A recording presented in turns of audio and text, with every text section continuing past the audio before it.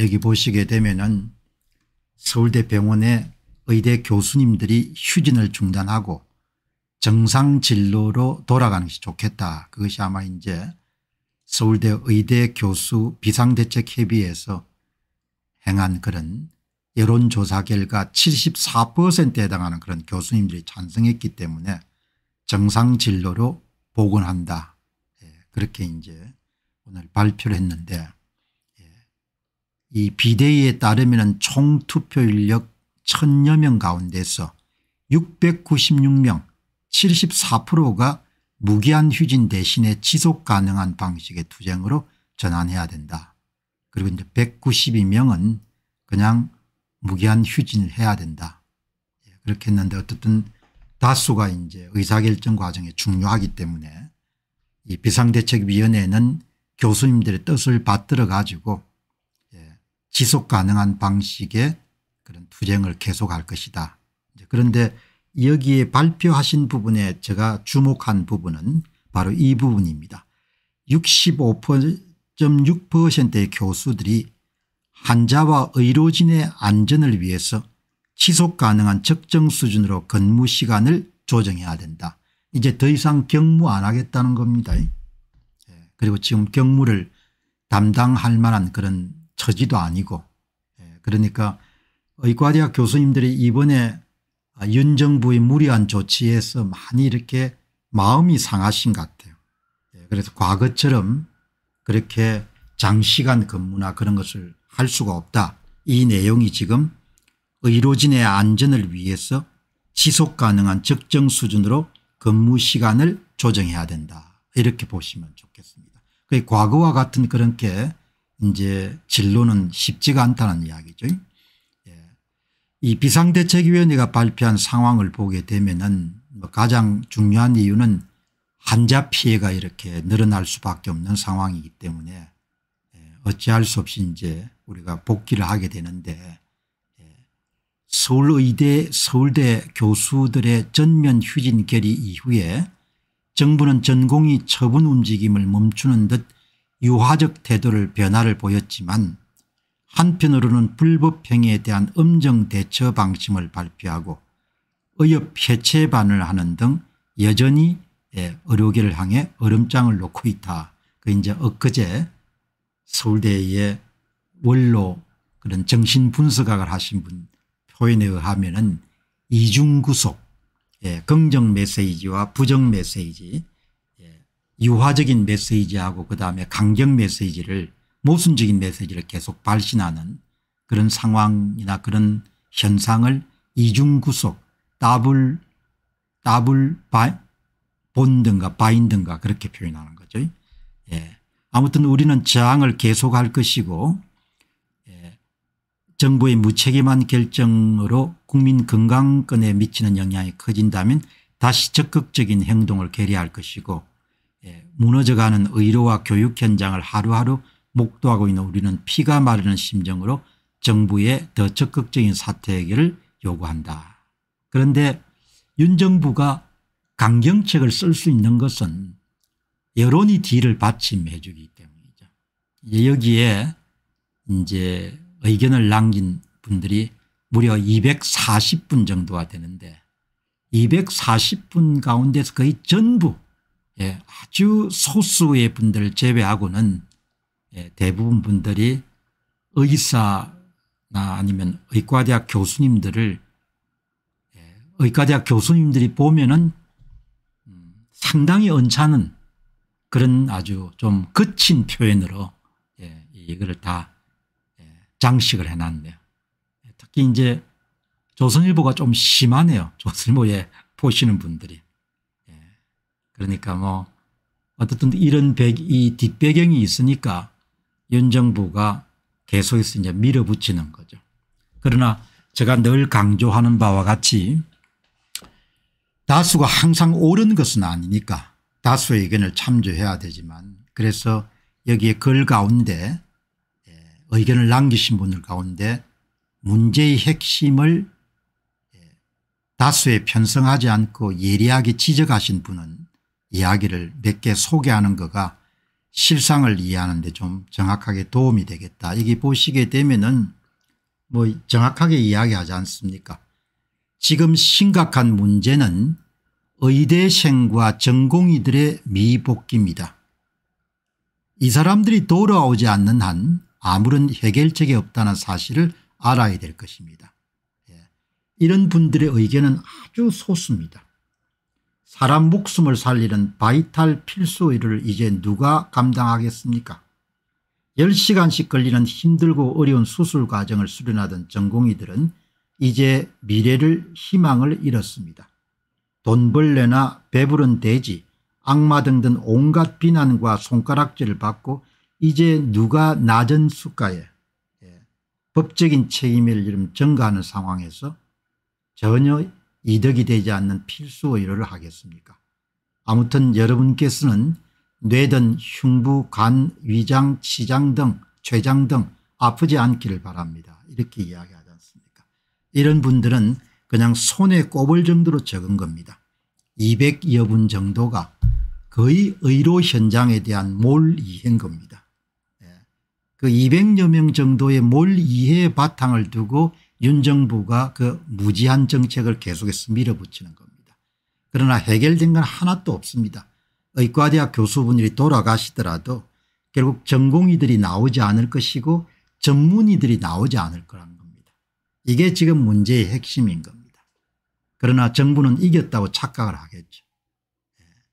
정확하게 이렇게 실상 의료 현장을 정확하게 아시는 분들의 이야기를 제가 한 번 더 강조하는 겁니다. 가장 여러분들 결정적인 문제는 의대생의 미복귀하고 전공의들의 미복귀라는 겁니다. 예, 보시게 되면 은 전문의가 배출이 안 된다는 뜻은 예, 이건 대전 국군 병원장께서 말씀하셨지 않습니까 앞으로 대한민국엔 전문의가 배출 안 됩니다. 필수 의료과와 관련해서 예. 뭐 이렇게 이야기하는 거죠. 필수 의료 의사로 살면서 저수가에 그다음에 의료 소송에 그리고 4년이라는 전공의 훈련 시간에 전임이 5년간에 그거를 이제 감당하면서 그 일을 할 사람이 없다는 겁니다. 그래 여기 오늘 이분이 말씀하신 것처럼 아내 내가 미쳤냐 예, 이런 이야기인 겁니다. 의료 현장을 정확히 아시는 분이 쓰신 겁니다. 예. 이렇게 되는 겁니다. 뭐 그러나 이 문제가 불거져 가지고 엄청난 사회적 문제가 될 때는 윤 대통령은 아마 퇴임에 있을 가능성도 높은 거죠. 사람이 이렇게 넓게 멀리 보기가 힘든 모양입니다. 예. 자기 문제가 되지 않으면 이해를 하려고 안 하는 거죠. 예. 이번 의정 사태는 거위가 잘 먹는 게 배가 아파서 황금알을 낳는 거위의 배를 가른 것입니다. 앞으로 싸고 좋은 의료는 없을 것입니다. 그동안 싸고 좋은 의료 자체가 전공의들의 희생 덕에 가능했는데 지금 분위기가 전공의들 스스로가 그런 일을 왜 해? 라는 분위기로 바뀌어버렸습니다. 이 사태 예, 전공의들이 돌아가지 않을 겁니다. 이렇게 이야기를 하는 거. 이런 분들은 대부분 의료 현장에 대한 이해가 보통 분보다 훨씬 더 깊은 분들 이렇게 이야기를 하는 거. 그래서 제가 이야기를 예, 문제의 핵심이 뭔지를 어, 이렇게 필요한 경우는 계속 이렇게 반복을 하는 겁니다. 우리 사위는 서울 아산병원 교수입니다. 월급 500만 원 600만 원 겨우 받지만 의료진 양성을 위해서 병원에서 희생하고 있습니다. 대부분 대학병원의 여러분들 교수분들이 이런 분들이 굉장히 많습니다. 보통 사람들이 아는 것처럼 일부 기업이처럼 그렇게 고액을 받고 있지 않는 겁니다. 예. 이미 병원은 예. 회생할 수 없다는 것이 걱정하고 있는 부분입니다. 그들의 생명을 위해 희생하고 있는데 왜 당신들이 욕하느냐 예. 앞으로 네 달 전으로 돌아갈 때는 30년 정도가 걸릴 겁니다. 이렇게 이야기하시는데 아무튼 간에 30년 지나도 복원이 안 될 겁니다. 이미 우리나라 필수 의료는 초등학교 수준의 무지막지한 망상적 정책으로 의료 시스템 자체가 붕괴된 겁니다. 예. 원래 윤 정부가 이번에 의과대학 정원 2000명을 증가시킨 가장 중요한 첫 번째 정책 목표가 필수 의료 인력의 확충이었습니다. 2000명을 예. 증가시키게 되면 의사수가 많아져 가지고 마치 물이 위에서 아래로 흘러가는 것처럼 낙수 효과처럼 필수 의료 인력이 채워질 것이다 그렇게 망상을 한 겁니다. 예, 어처구니 없는 여러분들 그런 예, 판단을 한 겁니다. 그래서 여러분들 간당간당 돌아가고 있던 필수 의료 분야를 완전히 뭡니까 망가뜨려 버린 겁니다. 현재로서는 복원되기가 어려운 상황이 된 겁니다. 예. 여기 무슨 나라가 이렇습니까 아니 어느 한 사람의 확신에 의해서 한 나라의 의료 시스템이 망가지는데 이렇게 속수무책이라니 의료 시스템은 원전 폐쇄보다도 100배 더 큰 문제입니다. 모시는 그렇다고 치더라도 그 주변의 사람들이 엄히 처단해야 됩니다. 이렇게 나오지 않습니까 보건복지부 관리들이 책임을 지라는 이야기죠.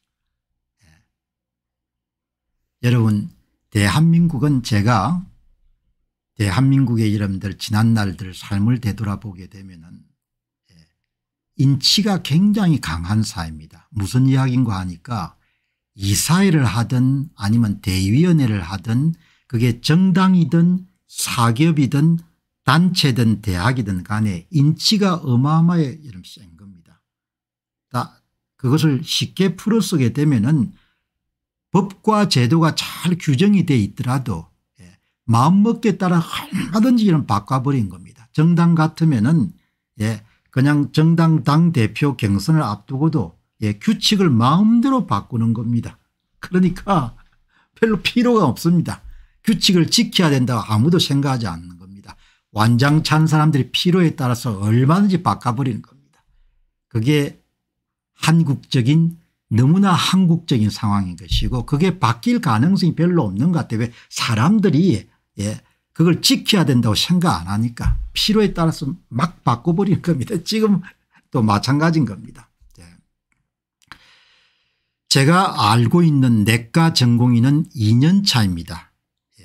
전공의를 포기를 결정하고 다른 진로를 모색하고 있습니다.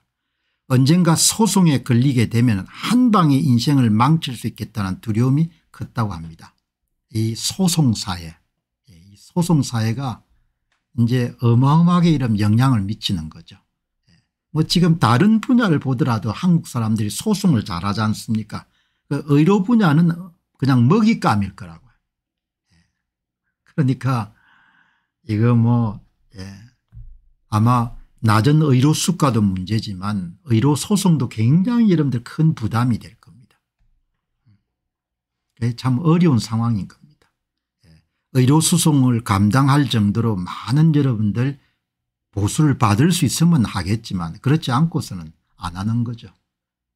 예. 여기 이제 한 분이 아주 중요한 경고를 하지 않습니까 내년에 학생들 입학하면 은 문제가 커질 겁니다. 8천 명이 무슨 교육이 되겠습니까 내년에 의대생 전부 들고 일어날 겁니다. 예, 이게 어마어마하게 두려운 겁니다. 그래서 교육부 장관부터 전부가 동원이 돼 가지고 예, 총장으로 하여금 절대 의대생의 여러분들 뭡니까 예, 휴직을 받아들이지 말라 이렇게 하는 거지 않습니까 휴직 금지 명령을 내지 않습니까 예, 이겁니다. 예, 학부생들이 들고 일어나게 되면 어마어마하게 이름 시끄럽겠죠. 예, 뭐 어떻든 간에 윤 대통령께서는 선의를 가지고 시작하셨다고 이렇게 뭐 주장할 수 있지 모르겠지만 한국의 의료 인력 공급망을 완전히 뭐죠 망가뜨린 겁니다. 예, 그것을 아주 직설적으로 이국종 교수가 잘 지적했지 않습니까 앞으로 필수 의료가의 전문의가 나오지 않습니다. 그 이야기지 않습니까 예. 아마 그렇게 실감이 안 날 겁니다. 윤 대통령께서도 전공의가 안 나오면 뭐 그게 뭐지 예. 본인이 잘 모를 거니까 예. 그 밑에 그 돌아가는 상황을 여기 이제 문제를 한 번 더 정리하셨네요.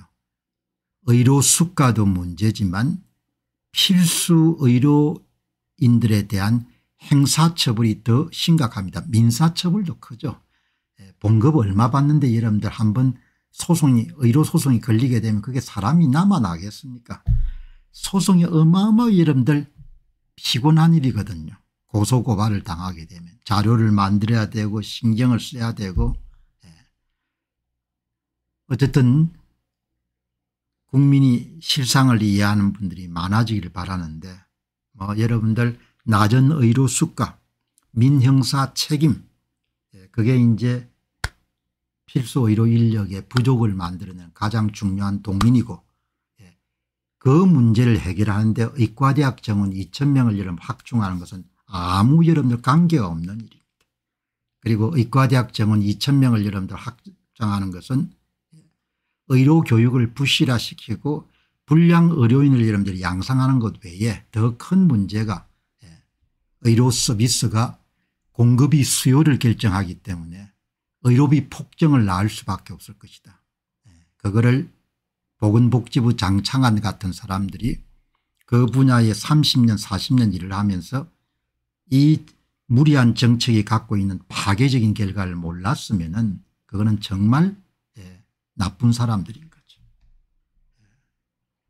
그렇게 여러분들 돌아가는 겁니다. 대부분 사람들은 이렇게 민감한 주제를 다 이야기를 안 하려고 하죠. 그냥 막입 다물고 내가 왜 이런 두들겨 맞냐 이렇게 생각 안 합니까 사회도 어마어마하게 비겁해져 버린 겁니다. 내 밥그릇하고 관계없으면 아무도 이야기를 안 하는 겁니다. 한국 사회가 정의도 없고 기계도 없고 용기도 없고 예. 그러니까 좀비 사회가 돼버린 겁니다. 아무도 이야기를 안 하는 겁니다. 예. 농객들 가운데 이걸 직설적으로 문제를 지적하는 사람이 거의 없지 않습니까 예. 왜 대중들한테 이런 질타받는 것이 두렵고 불편하니까 예. 그렇게 여러분들 돌아가는 겁니다. 어떻든 시스템이라는 것은 망가지게 되면 그 다음에 복구하는 것이 어려우니까 그 시스템이라는 것을 참 이해를 못하는 그 윤 대통령의 이해력도 문제가 많죠. 본인이 경험 안 해봤으니까 검사 세계만 여러분들 그렇게 다녔으니까 뭐 이해할 수가 없는 거죠. 뭐 선의고 뭐든 간에 어떻든 망가진 겁니다. 자 여기 보시게 되면은 아무튼 그 용기는 어디서 나왔는지 모르겠지만 대단한 용기지 않습니까 OECD 평균의 인구 1000명당 여름 숫자가 적으니까 2000명을 늘려야 되고 2000명에 단 한 명도 줄일 수 없다. 그 용기가 어디서 나오는지. 대단한 대단한 그런 확신 신념 좋은 표현을 하면 용기. 예, 조금 그거를 이렇게 여러분들 조금 돌려서 이야기한 만용. 이렇게 볼 수가 있는 거지 않습니까? 아주 우연히 젊은 분들이 많이 보는 그러니까 조금 예, 우파적 색채가 강한 젊은이들이 많은 그 사이트 예, 좀 유명한 사이트죠. MLB 파악이라는 그런 사이트에서 이 젊은 분들이 의정 갈등에 대한 부분을 논쟁하는 것을 볼 기회가 있었습니다. 학창시절 때 빼빠지게 노력해서 서울대 공과대학보다 높은 점수로 의과대학을 갔고 거기서 개업까지 15년이라는 기간을 공부하고 노력한 끝에 30대 중반에서야 돈을 버는 그런 상황입니다. 더불어 예, 외과 쪽은 맨날 사고로 만신창이 된 몸을 보면서 피를 보고 배를 여러분들 째면서 외상 후 스트레스가 장난이 아닙니다. 단순히 봉급이 너무 많다는 이유로 숫자를 늘린다 하면 이거는 멘붕이 오는 겁니다. 아니 의료계획의 핵심은 성형외과 등 인기과의 몰림과 지방의사 소멸이 있는 거고 그건 다른 제도적 방안을 통해 충분히 개선이 가능한데 생뚱맞게 아무 근거 없는 수치의 숫자를 늘리면서 의사협회와 의대 교수들 반응을 언플해서 의사들을 돈벌레 악마화하면 멘붕이 안 오겠습니까 이렇게 젊은 분이 글을 남긴 겁니다. 예. 추천이 82명이고 예. 이 글을 이제 이게 17일 날 올라온 건데 밑에 뭐 어마어마하게 많은 사람들이 논쟁을 해 예. 자기 의견을 필요가하는데 뭐 조선일보에서 보는 그런 의견과 마찬가지로 젊은 분들도 대부분 저는 뭡니까 뭐 그거보다 약간 예, 공격적이지 않지만 예, 실상을 정확하게 아시는 분들은 굉장히 드물었습니다. 그런데 그 가운데서도 아주 정확하게 실상을 이해하시는 분들이 있는 겁니다. 예, 실상을. 예. 참 이런 분들은 예, 그러니까 그 젊은이들 가운데서도 지금 의료 분쟁의 핵심이 뭔지 the point 핵심이 뭐냐 이 핵심이 가장 중요한 게 뭐냐 그거를 정확하게 이해하는 그런 젊은이들이 있기 때문에 오늘 그 이야기 한번 들어보는 것도 좋을 것 같습니다. 여기 보시게 되면은 이 그 젊은이 가운데 한 분이 천개 소문이라는 분입니다. 여기에 올라 있는 댓글을 보면은 기본적으로 의사에 대한 시기와 질투가 많이 확인됩니다. 이렇기 때문에 정부가 은펄로 휘저으며 다 휩쓸려 가는 겁니다. 정말 안타깝습니다. 청개 소문 같은 사람을 뭐라고 부르는 거 아니까 예. 자유주의자다 이렇게 부르는 겁니다. 개인의 기본권이라든지 개인의 권리라든지 이런 부분에 깨어있는 젊은인 겁니다. 예. 그 다음에 이제 또 한 분이 제일 이의적인 것이 의사들 저항을 전체주의 논리로 제안하는 겁니다. 면허보다 중요한 생명이 어디 있을까 정작 본인들이었다면 뭐 이런 이야기를 하는 사람도 있고 예. 그 다음에 이 청계 소문이 또 말씀합니다. 월급이 많다고 이리 시기심과 질투를 표현하니 저는 의사는 아닙니다마는 의사들 고액 연봉이어도 존경합니다. 이전에 교통사고 때 정말 많이 느꼈거든요. 고생도 많이 하시고 예, 이렇게 젊은이가 반듯한 생각을 갖고 있는 겁니다. 예. 의사들이 얼마를 버는 것은 그렇게 중요한 여러분들 주제가 아닙니다. 여기서 지금 의료 분쟁에서는. 그런데 어떻게 그 의사가 얼마를 벌더라. 예. 그 의사들 얼마를 벌더라는 평균값이니까 개업이 가운데서도 성형 분야에 계신 분은 좀 많이 벌 거고 대학 교수 계신 분들은 아주 적게 벌 거고 예. 그게 중요한 게 아니란 겁니다. 그러나 이 나라는 중요한 것과 중요한 것이 다 범벅이 돼 가지고 그냥 전부가 다 뭐죠 예, 헷갈리는 세상이니까 핵심을 보려고 하는 사람들이 참 없는 거죠.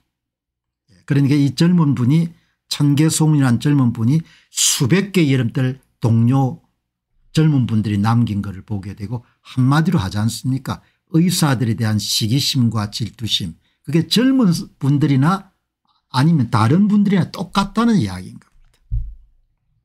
예. 여기 이제 소스 중독님이 툭 쏘듯이 한번더 하지 않습니까 본인들은 주 69시간도 일을 못하고 파업할 수도 있지만 의사들은 사명감으로 주 100시간 일해야 되고 파업도 못해야 하면 이게 정말 내로남불 아닙니까 이렇게. 예.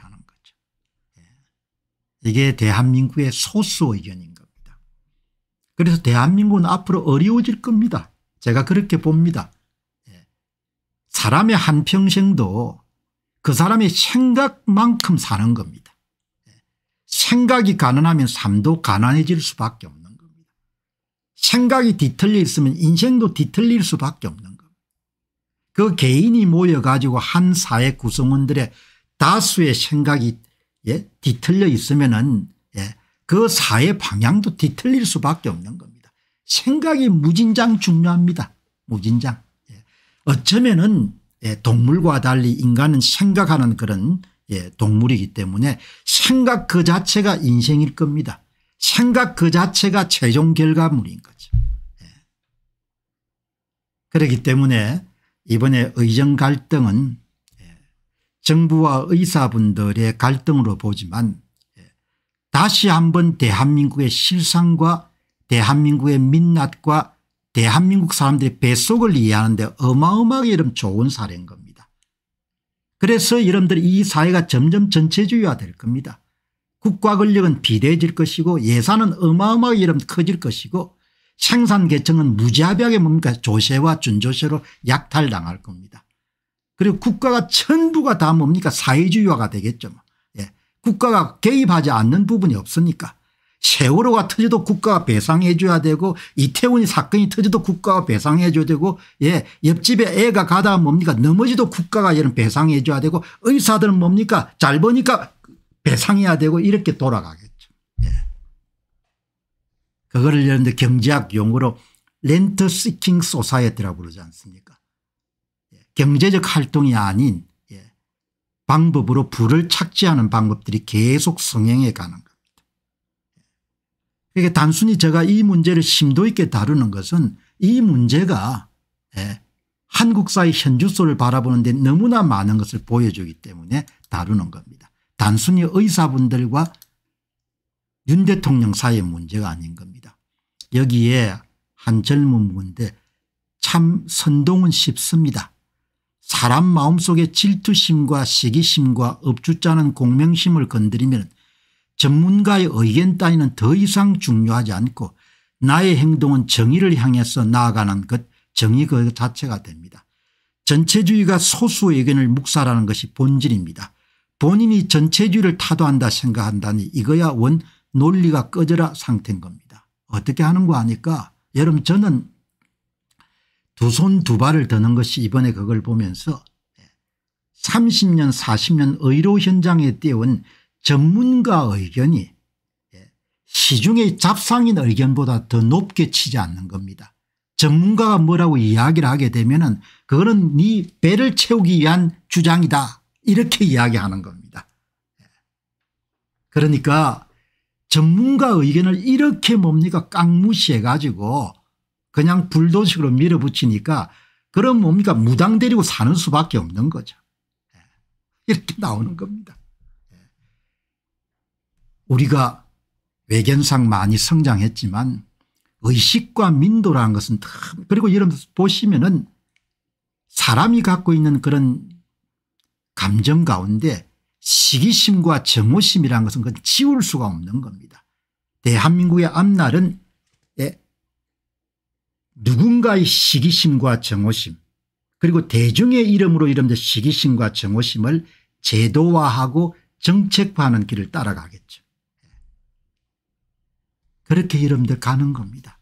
예. 너무 여러분들 오늘 그런 이야기 들은다 언짢이 하실 필요가 없습니다. 왜 그런 거 하니까 그게 보이니까 가는 게. 예. 이 보시게 되면은 예.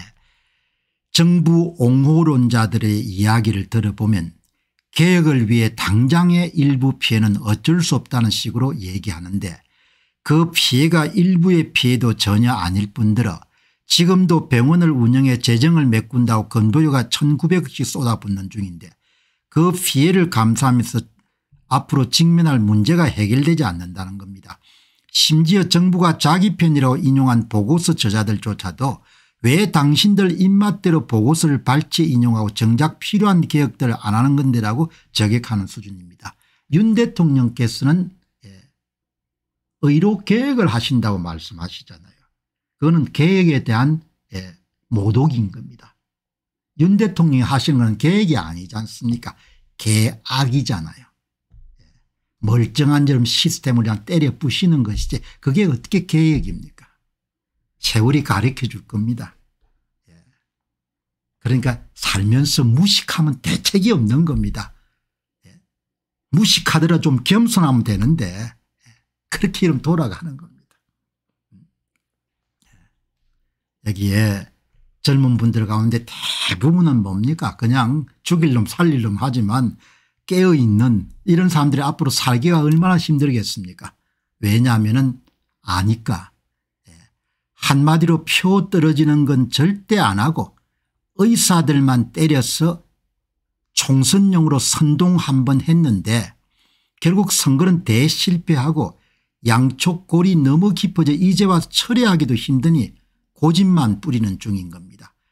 국민을 위한 정치를 하는 게 아니라 검사처럼 상대를 굴복시킬 생각을 하는 겁니다.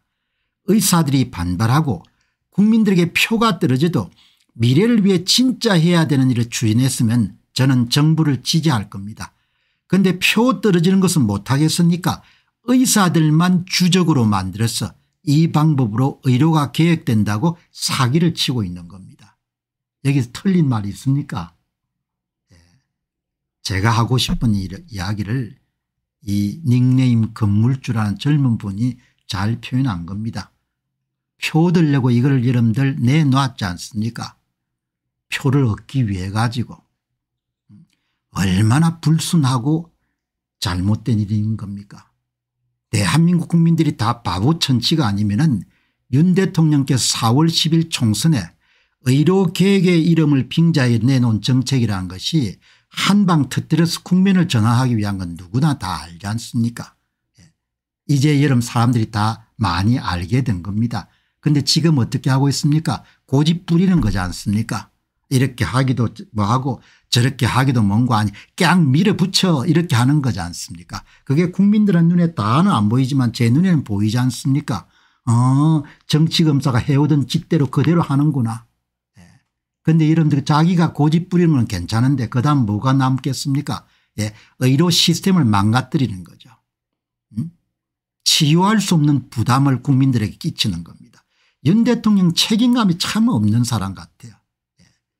예. 저만 하더라도 자식들이 있고 손자 손녀들이 있고 하니까 제 여러분들 의사결정의 시계라는 것은 나는 한 몸이 여러분들 썩어서 예, 한 줌의 흙이 되더라도 다음 세대가 여러분들 도움이 됐으면 기꺼이 그 일을 할 수 있는 만큼의 여러분들 의사결정 체계가 그렇게 돼 있는 겁니다. 왜 예.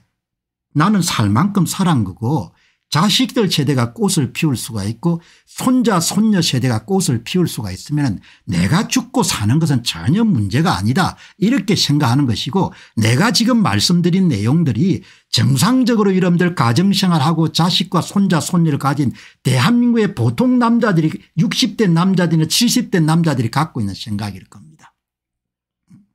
60이 넘으면 본인이 다 그걸 깨우친 겁니다. 자기가 갖고 있는 시간은 얼마 되지 않는 것이고 자식들하고 손자들 함께 도움이 될 수 있으면 내가 하나의 이런 미랄이 되더라도 전혀 문제가 없는 것이야. 그렇게 이런 대다수 남자들이 그렇게 생각합니다. 정상적으로 쓴 사람들은.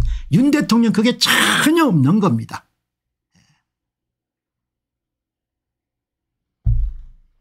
전혀 없는 겁니다.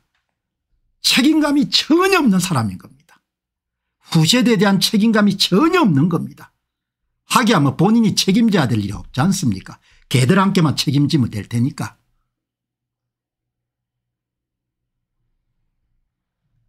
너무너무 한 겁니다. 예, 여기 보시게 되면은 예, 제가 이번 정책에 굉장히 반감이 드는 이유 중 또 하나가 당장 국민이 나와 내 가족들에게 피해가 될 것 같기도 했었지만 대통령이 하는 짓이 딱 민주당스럽습니다. 예.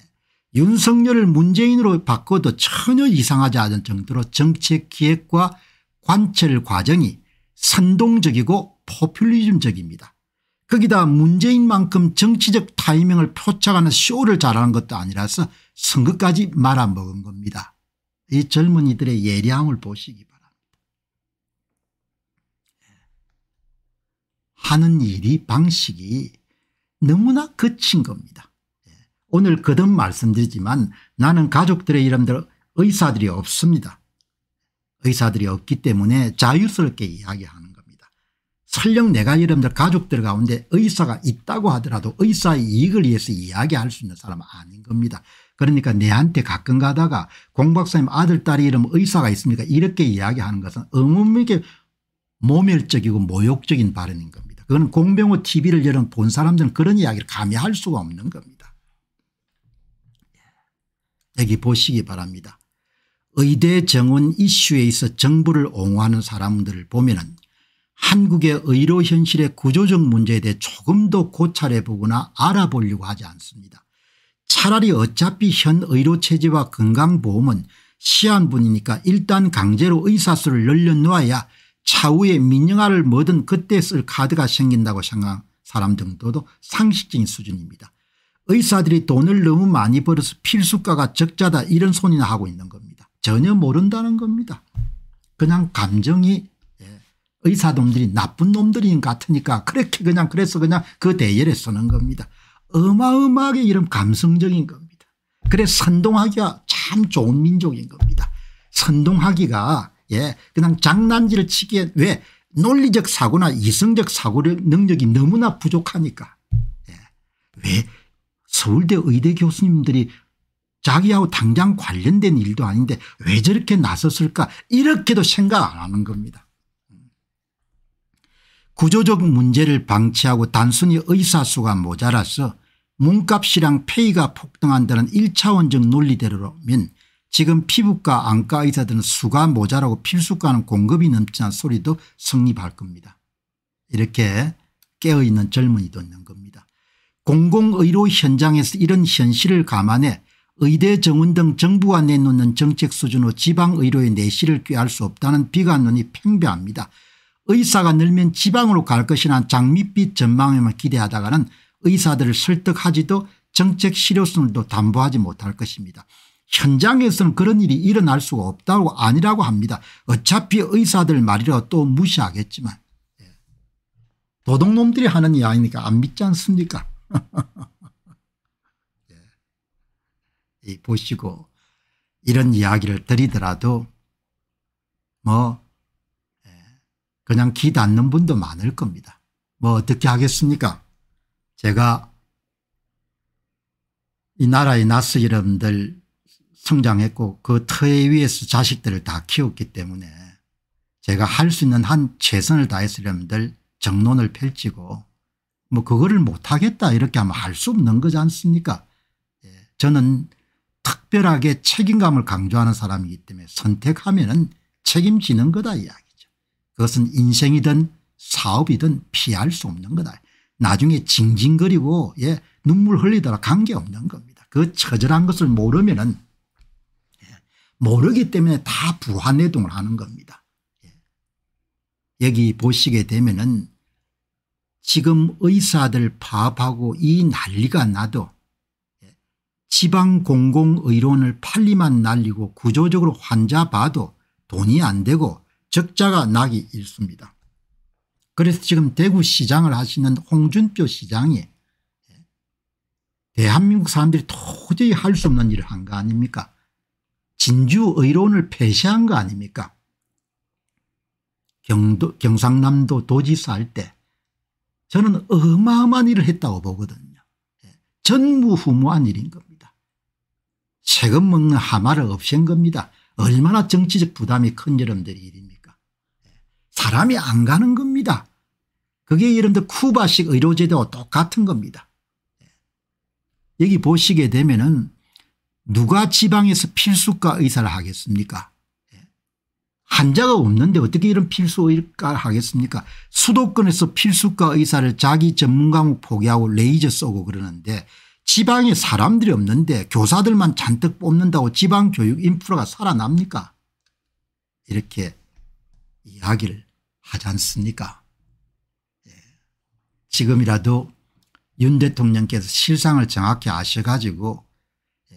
윤 대통령의 얼굴도 좀 세우고 동시에 예. 의사들의 요구를 좀 수용하는 그런 선에서 타협을 하시면 좋을 것 같은데 윤 대통령이 여러분들 걸어온 과정이나 직업적 경력 그리고 제가 바라보는 윤 대통령의 심적 상태나 성정 특성을 미뤄보게 되면 막판까지 갈 것 같습니다.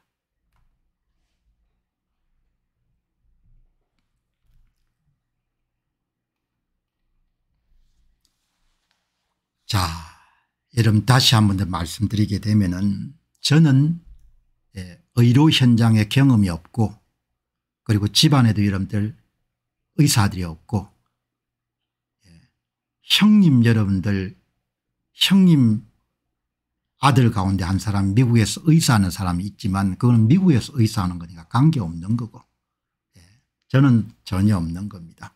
그러나 제, 제가 여러분들이 방송을 하는 것은 논평은 언젠가도 이야기 드렸지만 젊은 날 제가 수백 건의 이런 책을 쓴 사람입니다.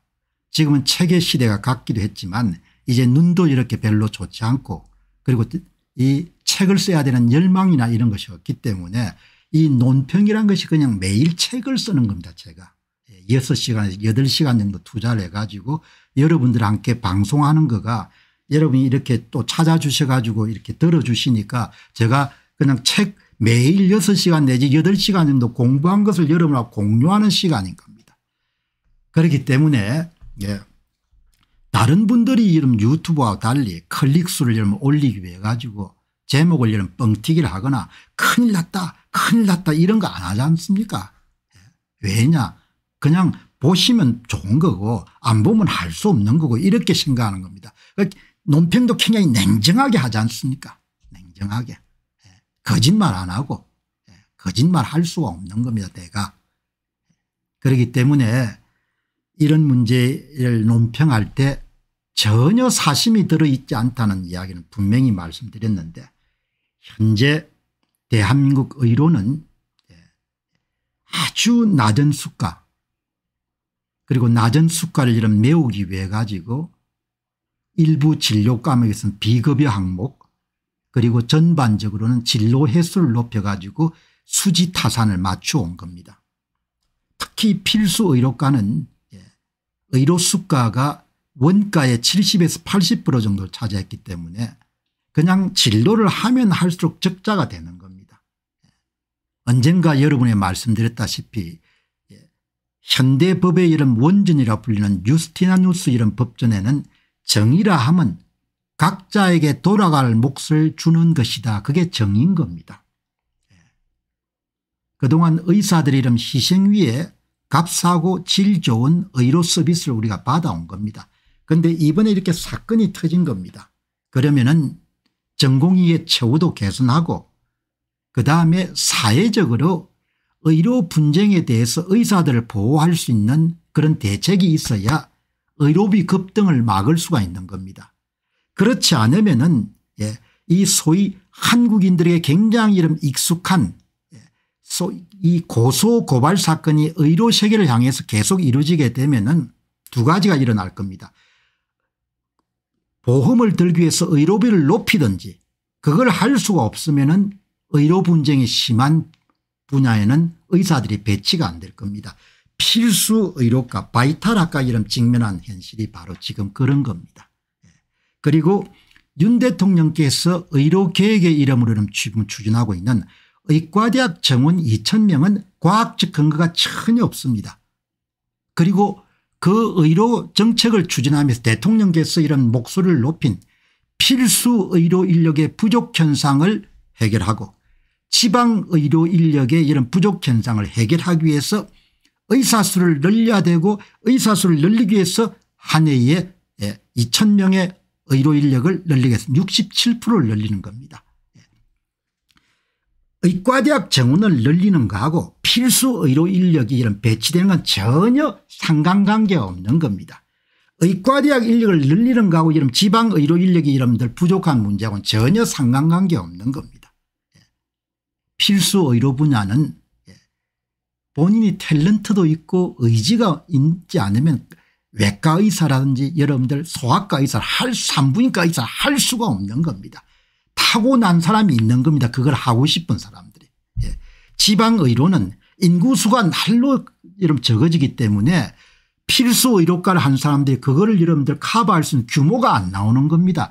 그러면은 광역 의료 체계 같은 걸 만들어 가지고 예.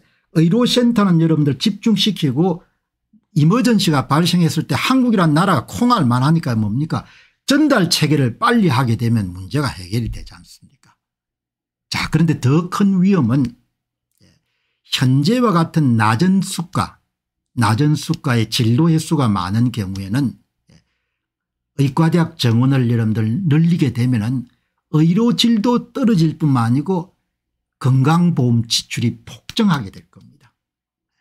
그래서 여러분들 이 문제를 이렇게 거칠게 추진해서는 안 된다 이렇게 이야기하는데 대통령은 본인이 잘난 맛에 평생을 살아온 사람이기 때문에 일체 안 들을 겁니다. 예. 일체 들을 의지도 없고 예. 뭐 마이크만 잡으면 계속 자기 이야기 하는 사람이니까 예. 이번도 마이크만 잡으면 여러분 자기 이야기 하는 겁니다. 아마 전공이들하고 여러분들 만나가 대화할 때도 자기 이야기만 계속 했을 겁니다. 가장 젊은 친구들이 싫어하는 스타일이지 않습니까 아버지하고 여러분 아들이 만났는데 아버지가 지 이야기만 계속 한다고 생각해 보시기 누가 좋아하겠습니까 좋아할 수가 없는 거죠. 예.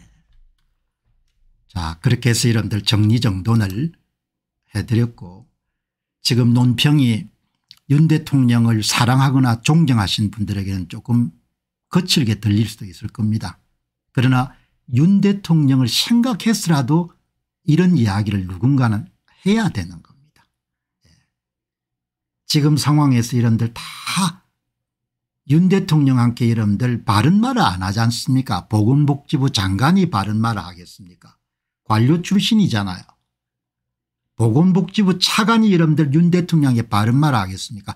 관료 출신이지 않습니까 한덕수 총리가 여러분들 윤 대통령께 바른 말을 하겠습니까 평생을 관료 생활을 해온 사람들입니다. 윤 대통령 주변에 이런들 의료 정책과 관련해서 조언한 사람들 대부분 여러분들 뭡니까 관료 출신들인 겁니다. 그리고 정치적 야심을 가지고 있던 그런 민주당으로 간 그런 서울대 의대 교수들인 거죠. 평생을 관료를 이런 지낸 사람은 제가 폄하하자는 것이 아니고 눈치가 이런 백단이고 천단인 겁니다. 절대 의사결정권자가 싫어하는 이야기를 안 하는 겁니다. 예. 그래서 상황이 여기까지 온 겁니다. 그렇다고 해가지고 관료 출신들의 측근들에게 책임을 물을 수는 없죠. 전부 다. 왜냐하면 대통령이 크로체크를 하고 관료들하고 전혀 다른 집단들의 이야기를 들어야 되는 선택 권한은 대통령이 있기 때문에 최종적으로 대통령이 여러분들 책임의 60% 정도는 지어야 되는 겁니다. 그 옆에 보건 관료들이 이러면 40% 정도 지어야겠죠. 아무도 이야기 안 하는 겁니다. 권력의 생리라는 것은 인사권을 진 사람들에게는 웬만해서 이야기를 안 합니다. 썬소리 하게 되면 그냥 목을 날라버리지 않습니까 특히 대한민국은 그렇지 않습니까 그러니까 완전히 의료정책이 예, 산으로 가버린 겁니다. 지금이라도 정신 차려야 되는 겁니다. 정신 못 차리겠다 그러면 은 나중에 끌려 내려오는 수가 있는 겁니다.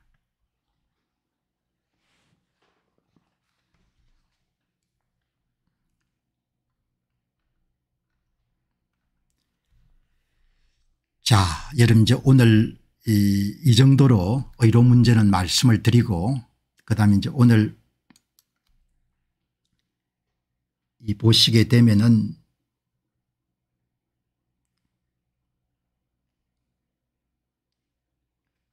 SK 유동성 문제 한번 말씀을 드리도록 그렇게 하겠습니다.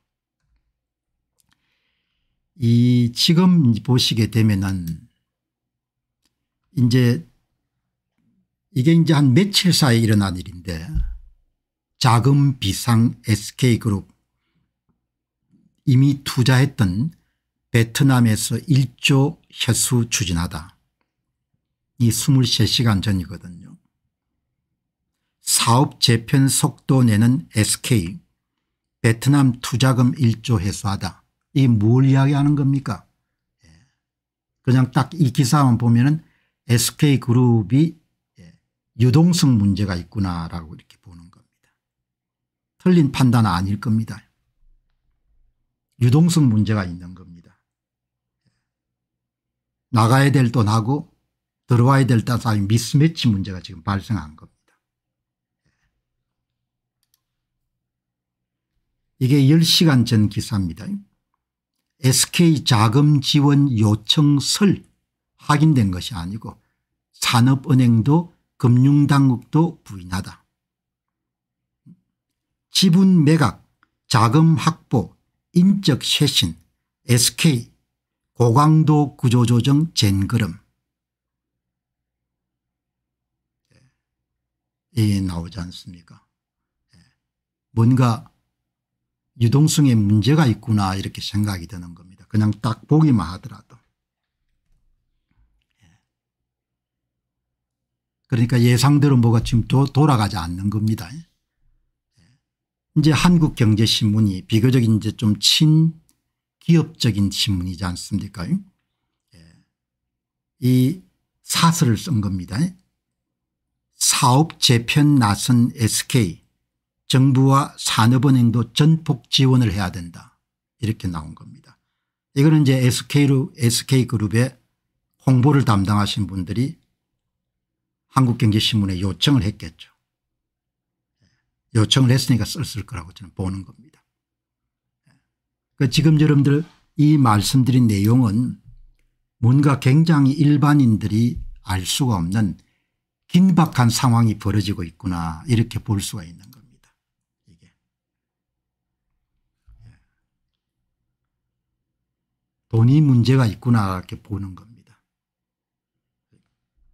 이 보시게 되면은 긴박한 SK 베트남에서 투자금 1조 회수 추진 예. 베트남 마산 빈 그룹에 투자했던 1조 원 규모 지분 매각 작업에 착수한 것으로 알려졌다. 현금을, 현금을 지금 확보하는 겁니다. 급하게.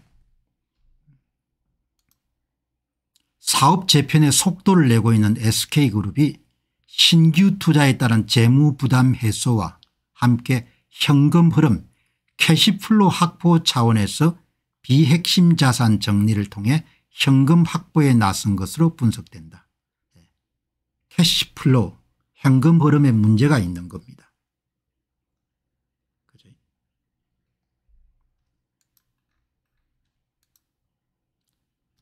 그러면 만났느냐 예. 산업은행 관계자는 강석훈 산업은행 회장과 최태원 SK그룹 회장이 자금 지원 협의를 위해 만났다는 보도는 사실 무근이고 SK로부터 공식적인 자금 지원을 요청받은 바가 없다. 예, 이렇게 분명히 잘라서 이야기하지 않습니까 그러니까 이런 이야기들이 흘러나오니까 전후에 관련된 사건들을 한번 다 이렇게 연결해 보게 되면 대략적인 그림을 그릴 수 있는 거지 않습니까 산업은행도 부인했지만 금융당국도 SK그룹의 유동성 위기론이 대두되고 있는 가운데 이번 자금 요청설이 시장 불안을 키울 수 있다는 점을 경계하고 있다.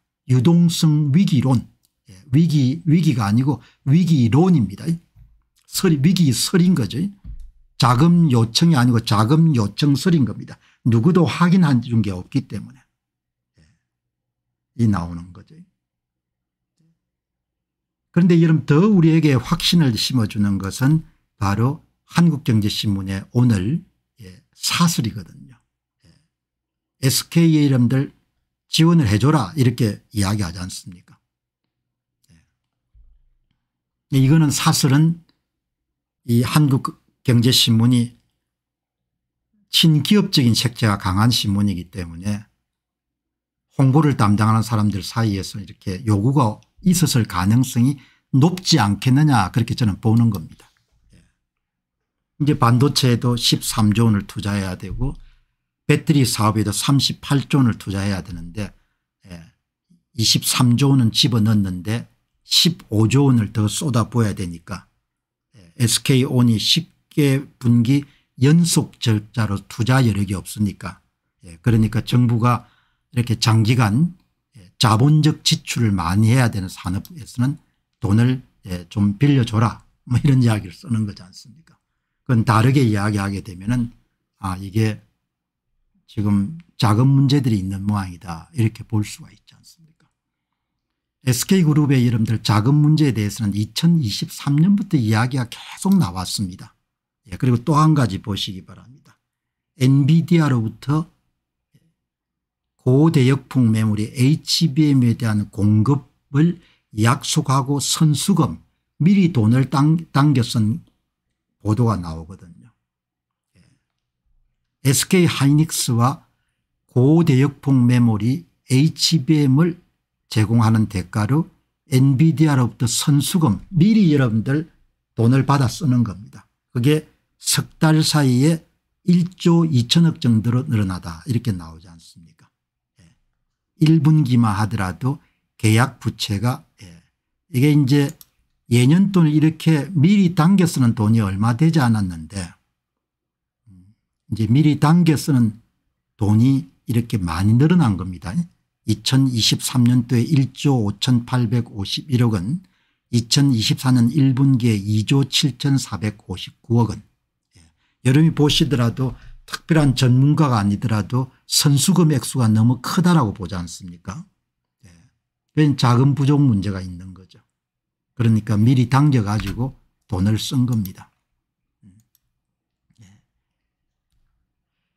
2분기 연속해서 계약 부채 급증이 선수금이 급증한 것은 엔비디아를 비롯해서 주요 고객사의 고대역풍 메모리 선수금과 관련이 있을 것으로 추정된다.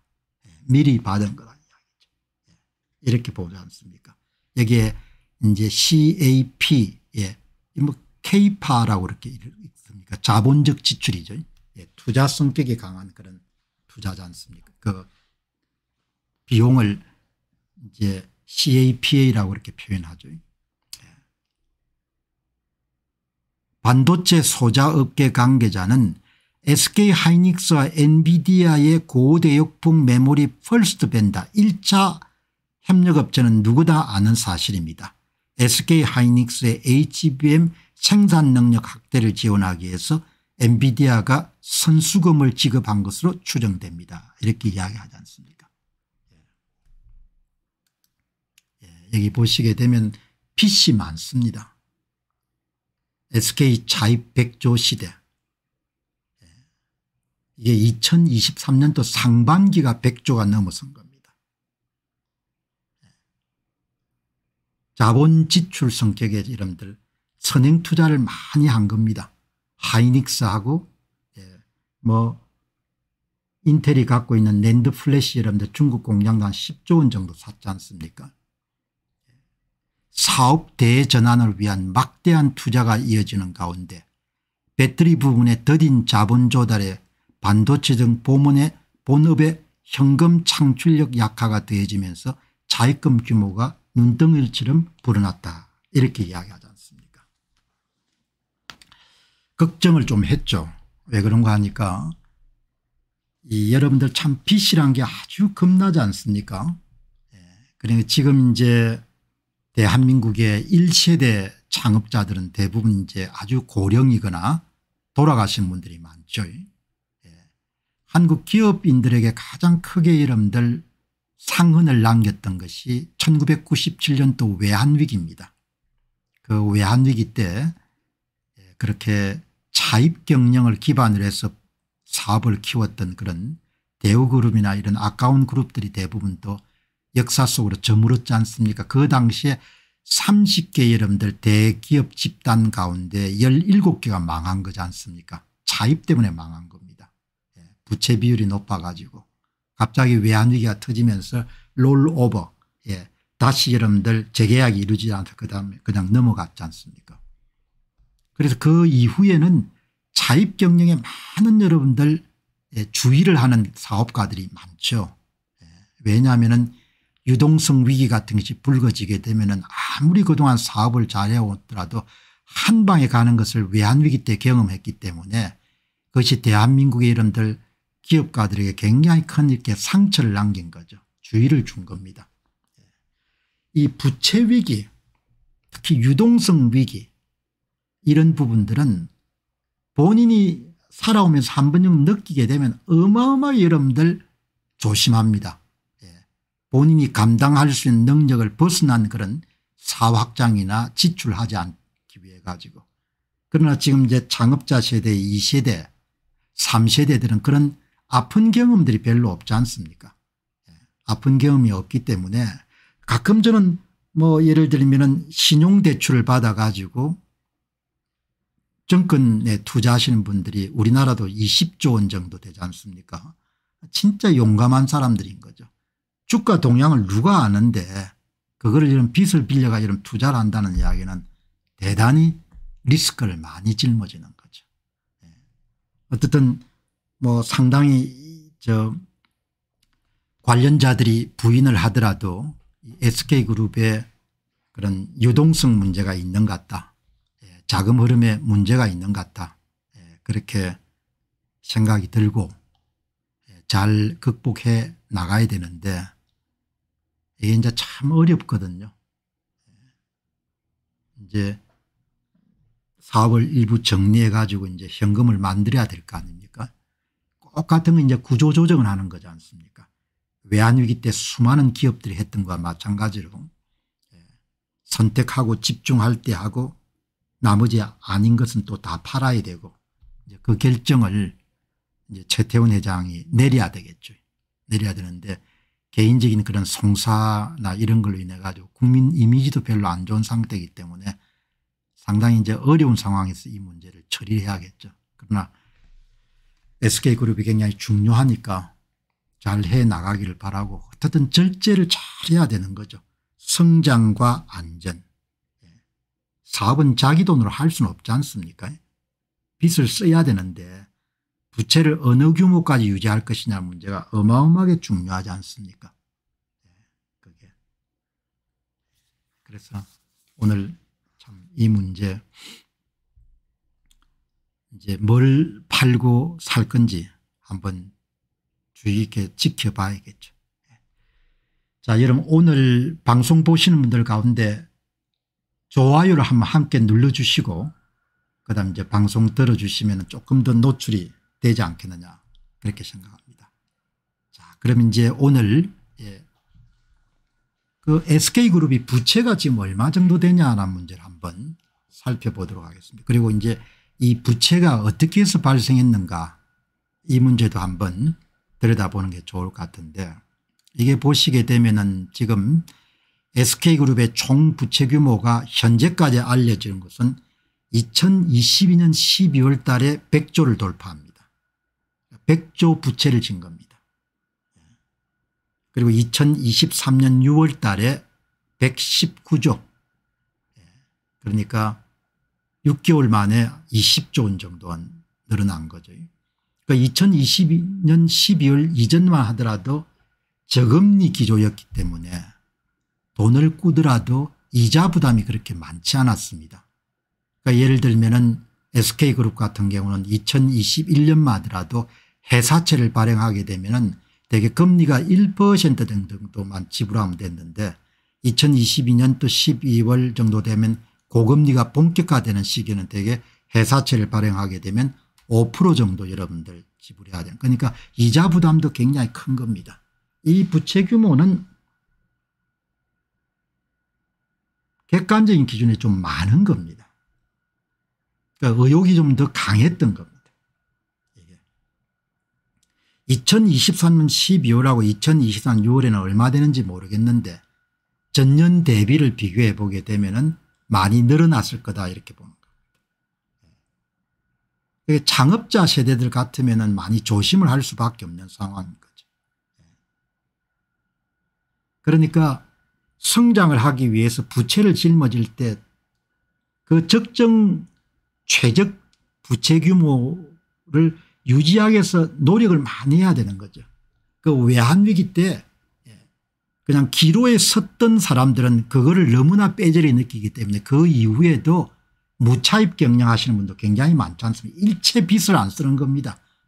너무나 혼, 혼이 났기 때문에. 예.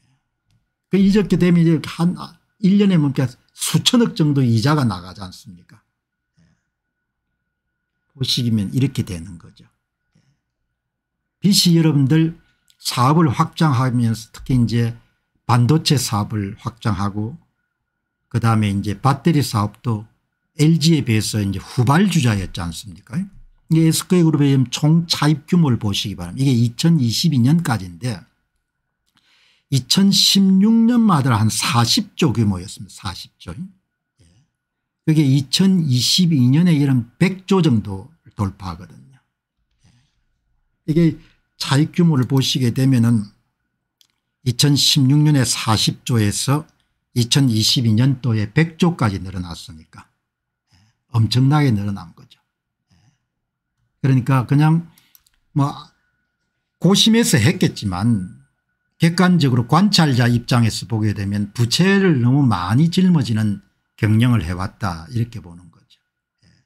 이때만 하더라도 여러분들 최태원 회장이 연, 연배가 50대였을 겁니다. 예. 그러니까 한참 사람 여러분들 확장 의혹이 강할 때가 대개 50대입니다. 50대. 그래서 50대에 굉장히 주의를 해야 되는 거죠. 예. 이렇게 여러분들 돌아간 겁니다.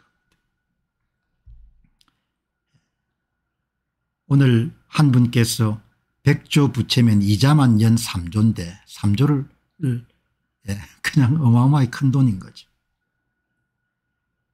이렇게 지금 돌아간 겁니다. 그걸 숫자로 보시면 더 여러분들 더 정확하게 나오는 거죠. 2018년 때 45조 2019년도에 63조 2020년도에 70조 2021년도에 85조 15조가 늘어난 겁니다. 한 해에.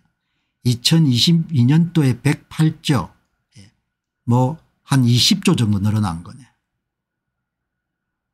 20, 2023년도 1분기에 116조 예.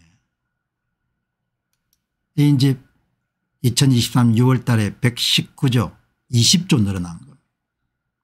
그건 반기에 여러분 20조씩 늘어났으니까 지금은 뭐 얼마인지를 자료가 안 나왔기 때문에 제가 뭐 무책임하게 얼마가 될 거다 이렇게 이야기할 수 없는 거고 밝혀진 자료만 이렇게 2022년하고 2023년도에 6개월 사이에 20조가 늘어났으니까 동일한 비율로 증가했게 됐으면 2023년 12월 달에 140조 2024년 6월 달에 160조 정도 되는 이렇게 이름도 돌아가는 겁니다. 지금은 160조 정도 될 거다 이렇게 볼 수가 있는 거죠. 부채가 너무 여러분들 생각보다 여러분들 그 반도체 배터리 사업이 정상화되는데 이런 시간이 많이 걸린 거죠. 원래는 배터리를 맡던 SK온을 상장을 시키려고 했는데 상장 일정에 좀 차질이 많이 발생한 겁니다. 예. 자본적 지출 예. 자본적 지출이 이렇게 많이 는 겁니다. 미래를 대비하는 차원의 이런 자본적 지출이 2018년대 23조 2019년도 22조 2020년도 20조 2021년도 22조 그것만 이러면 다 합쳐도 100조 정도 되겠네. 매년 20조를 상회한 겁니다. 작년엔 32조를 집어넣은 겁니다.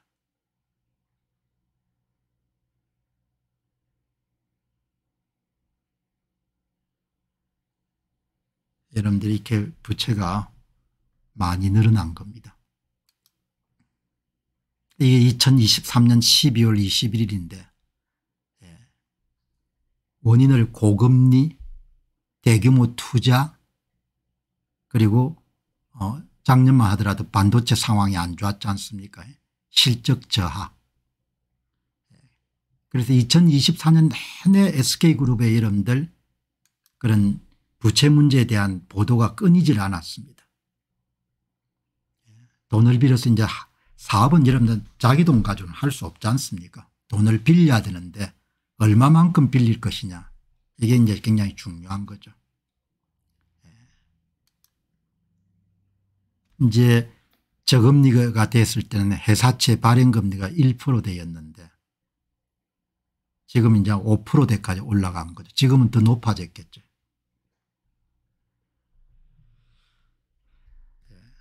가정도 부채가 많으면 참 힘들지 않습니까? 굉장히 이렇게 고심을 많이 하지 않습니까? 가정도 부채가 많으면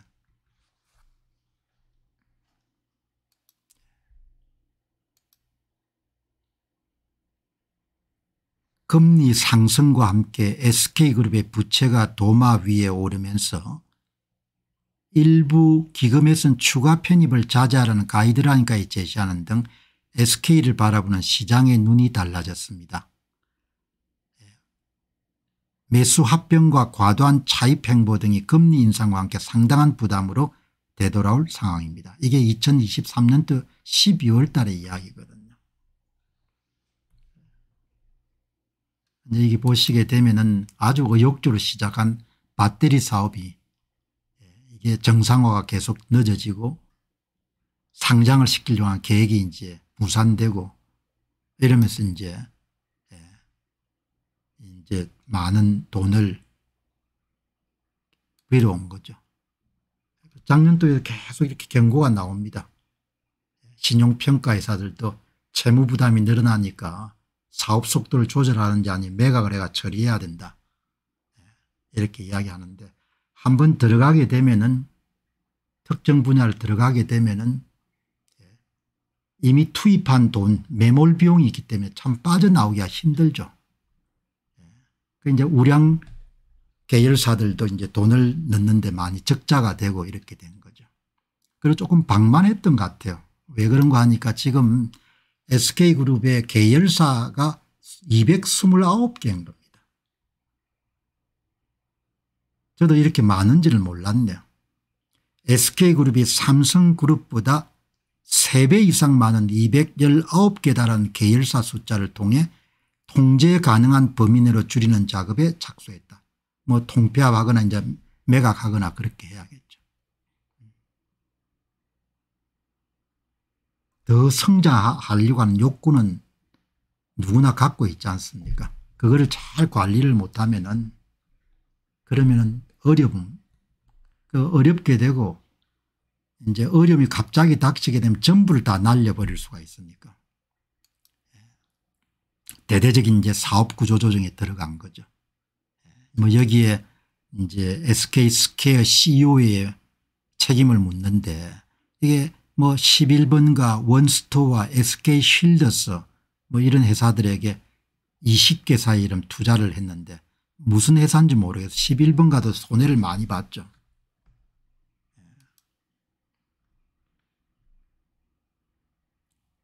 SK 하이닉스만 빼고 다 없앤다는 각오로 정리하라. 이렇게 뭐 가감하게 정리해야 되는 겁니다. 돈 안 되는 거는.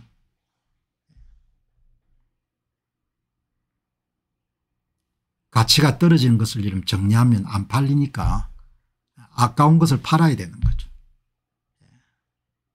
이렇게 여러분들 어렵게 된 겁니다.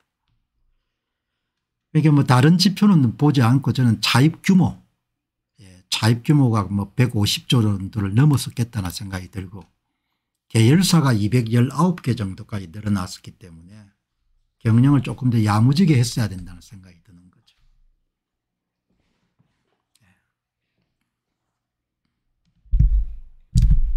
여기다 이제 개인 송사까지 이렇게 겹쳤으니까 최태원 회장 고민이 참 많을 것 같네요. 자, 여러분 정신 똑바로 차리고 살아야 되고 뭐 살면서 부채를 또 짊어질 수밖에 없는데 그래도 참 가능하면 부채 조심해야 되죠. 뭐 이렇게 부채가 늘어나게 되면 참 힘들죠.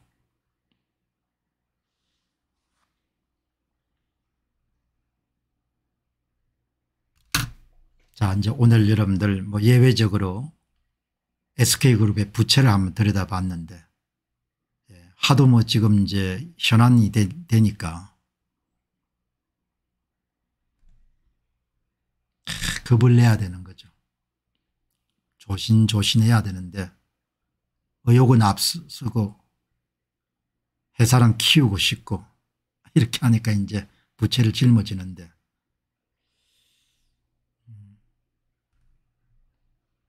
전번에 이제 SK온이 배터리 사업을 하면서도 이제 미국의 무역위원회 여러분들 제재를 받아서 LG에 2조 원 정도 물어줬지 않습니까 스카우트한 그런 비용으로 뭐 다들 잘 하려고 했을 테니까 뭐 비난하거나 그렇게 할 필요는 없는데 그래도 이제 잘 극복해야 된다는 이야기를 드리고 싶네요.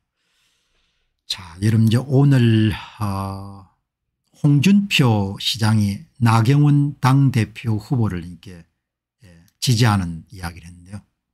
음, 당을 지킬 사람이 당대표가 돼야 되니까 예, 나경원 이제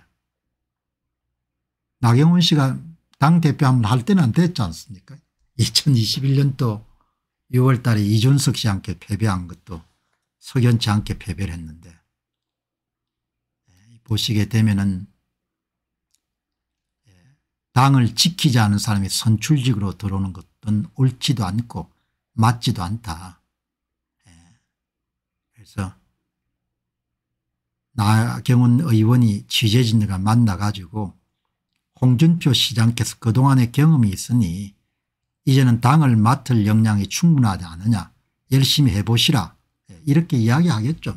예, 그나마 뭐 나경원 후보는 원내대표도 지냈고 그다음에 이제 뭐 험결이 없는 사람이 없겠지만 2021년 6월 달에도 뭐 석연치 않은 방법으로 당대표 경선에서 떨어졌지 않습니까 예. 당 내부의 당심은 압도적인 우위였는데 모바일 투표가 이상 야릇하게 나와가지고 떨어진 거지 않습니까 예. 그래서 아마 이제 홍준표 시장이 식사하면서 이제 그렇게 덕담을 예. 홍준표 시장이 지지를 선언한 것이라 봐도 되겠냐 질문에 대해서 예. 이제 나경원 후보가 이철우 경북도지사님에 이어서 홍준표 시장님도 같은 의사를 표시하셨다고 보시면 될 것입니다. 이렇게 뭐 지금 다른 대안이 없지 않습니까 예, 그래도 경험이 있는 사람이 맡아서 하는 것이 좋겠다 뭐 이렇게 이제 이야기를 한 거죠. 이제 홍준표 참 예. 호불호가 확실히 가리도록 이야기하시는 분이죠. 내가 아이라고 말하는 것은 나이를 기준으로 하는 게 아니고 정치적 미성숙을 지칭하는 겁니다. 이준석 대표는 나이가 더 어려도 그런 표현을 나는 사용하지 않습니다. 난장판 국회를 만들어 나라를 혼란으로 몰아넣어 놓고 석고 대제도 모자랄 판에 총선 찬패 주범들이 두 달도 안 돼서 또 무리를 지어 나서는 것은 정치적 미숙아를 넘어서 이재명 대표 못지않은 상식을 벗어난 뻔뻔함을 그대로 보여주고 있는 것입니다. 국민과 당원들은 바보가 아닙니다. 혹독한 심판을 당하고 퇴출될 겁니다. 문재인의 사냥꾼 노릇하던 얼치 검사 출신이 더 이상 우리 당을 농락하는 일이 없었으면 합니다. 지명직은 어쩔 수 없었지만 선출직은 불가합니다. 이렇게 뭐 그냥 예, 어마어마하게 여러분들 그냥 강하게 이야기했는데 홍준표 시장 뭐 이야기는 제가 이해를 하겠습니다. 예. 이번에 국민의힘의 당대표 경선은 공정하게 치루지야겠죠. 네. 공정하게 치루지기를 바랍니다. 종이 투표가 아니고 다 온라인 투표니까 ARS 투표는 그래도 좀 나은데 모바일 투표가 항상 문제가 있었지 않습니까 그래서 나경원 후보가 2021년도 6월 달에 ARS 투표에서 압도적으로 승리를 했는데 모바일 투표에서 여러분들 크게 대표를 하지 않습니까 이준석 후보한테. 국민의힘의 여러분들 당원들이란 모집단에서 모바일 투표라는 표본 집단을 여러분들 추출하고 그리고 ARS 투표 집단이라는 표본 집단을 추출했는데 과학은 모집단의 평균값하고 ARS 투표의 평균값하고 모바일 투표의 평균값이 같거나 비슷해야 되는 거죠. ARS 투표는 나경원 후보가 이준석 후보를 압도적으로 이겼는데 모바일 투표는 이준석 이름들 나경원 후보를 압도적으로 이겼으니까 그런 엉터리 같은 결과가 어떻게 나오냐. 그런데 이번에도 중앙선거관리위원회 당대표 경선을 맡긴다면서요. 그러니까 뭐 공정할까 이런 생각이 드는 겁니다. 하도 뭐 저는 많이 다루가 이제는 자세하게 안 다룹니다. 예. 국민의 힘이 당대표 경선 하나 공정하게 치를 수 없는 그런 당이 되지 않기를 바랍니다. 그렇게 그 선거 문제가 다 이렇게 여러분들 그냥 오염이 돼 가지고 뭐 앞으로 어떻게 하겠습니까 예. 그 그렇게 문제가 많은 선관위에 그렇게 당대표 경선까지 다 그렇게 위임을 하니까 어, 뭐 이제 신물이 나니까 더 이상 내가 안 해도 여러분 다 아실 거 아닙니까 예. 예. 여기 보니까 또 이제 한 말씀 하셨는데 경기도에 차베스였는데 여의도에 가서는 동탁이 되었습니다. 여당이 싫어서 야당을 찍어준 것이지 야당이 좋아서 찍어준 건 아닙니다. 아니 홍준표 시장은 다른 이야기는 다 잘하시는데 국민은 여당에게 표를 줬잖아요. 예. 표를 못 지켰지 않습니까 표를 만졌지 않습니까 그렇게 말씀하셔야 되지 홍준표 시장 여러분들 그런 논평을 제가 참 높게 평가하지만 이건 거짓말이지 않습니까 여당이 싫어서 야당을 찍어준 것이지 야당이 좋아서 찍어준 건 아닙니다. 아 국민은 여당에게 표를 준 거지 않습니까 그러니까 대한민국이 참 엉망진창이 된 겁니다. 아무도 문제를 음, 지금 대통령께서 예, 의정 갈등 문제를 해결할 때도 실상을 안 보지 않습니까 실상을 안 보고 그냥 자기 쪼대로 하지 않습니까 홍준표 시장도 다른 분야는 참 멀쩡하게 참 글을 잘 써주는데 선거만은 뭡니까 다 예, 실상하고 다른 이야기를 하시니까 예. 선관위가 밀어주는 사람이 당선되잖아요. 그렇지 않습니까 선관위가 모바일 투표하고 ARS 투표를 어떻게 하는지 내가 기술줄 모르겠는데 어쨌든 모바일 투표는 쉽게 만질 수가 있으니까 아니 선관위가 만들어주면 되는 거죠. 그렇게 나경원 씨도 그렇고 한동훈 씨도 그렇고 선관위 관계자 만나가 좀잘잘 잘 잘 부탁한다 그렇게 하시기 바랍니다. 대한민국 선거에 선관위가 안 만들어준 게 어디 있습니까 아이들 반장 선거는 뭐 선관위 안 하겠지만 지금 전부가 다 거짓이고 사기고 예? 그냥 조작이고 그런 거지 않습니까 홍준표 시장이 아무리 나경원 후보 이름 지지해도 소용없는 겁니다. 예, 선거 만드는 사람들이 다 결정하는 거니까. 예. 그렇게 하면 오래 가지 못합니다. 예, 오래 가지 못하기는 선거를 장악하는데 오래 가죠. 아니 이재명 씨가 선거를 다 장악하고 있는데 오래 못 갈 이유가 없지 않습니까 세세손손 다 해먹었겠죠. 뭐.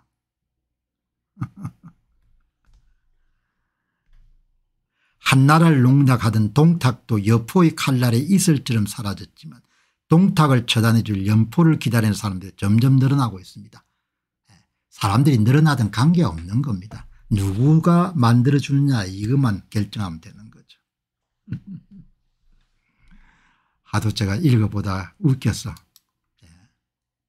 이재명 일극체제는 우리로선 전혀 나쁘지 않습니다. 동탁체제가 아무리 공고해 본들 그건 20% 남짓한 극성 좌파들 집단의 지지일 뿐입니다. 20%건 30%는 관계없지 않습니까 그 사람들이 선거를 다 잡고 있으니까 네? 기가 찬 세상에 살게 된 거죠. 언론에 띄워주고 선관위가 뭡니까 그냥 예좀 만지고 하면 결정되지 않습니까 홍준표 시장이 아무리 나경원 후보를 지지하더라도 선관위가 나경원 후보를 만들어주고 싶으면 만들어주는 거고 이런 이야기 하는 것이 좀 참담합니다만은 뭐 그래도 사실 하도 걸릴다 우스워 가지고 이야기를 한번 하는 겁니다. 자 여러분 이제 좀 답답한 이야기들을 드렸는데 세상 변하는 이야기 여러분 좀 오늘 하도록 그렇게 하겠습니다. 세상이 참 대단하게 바뀌네요. 예.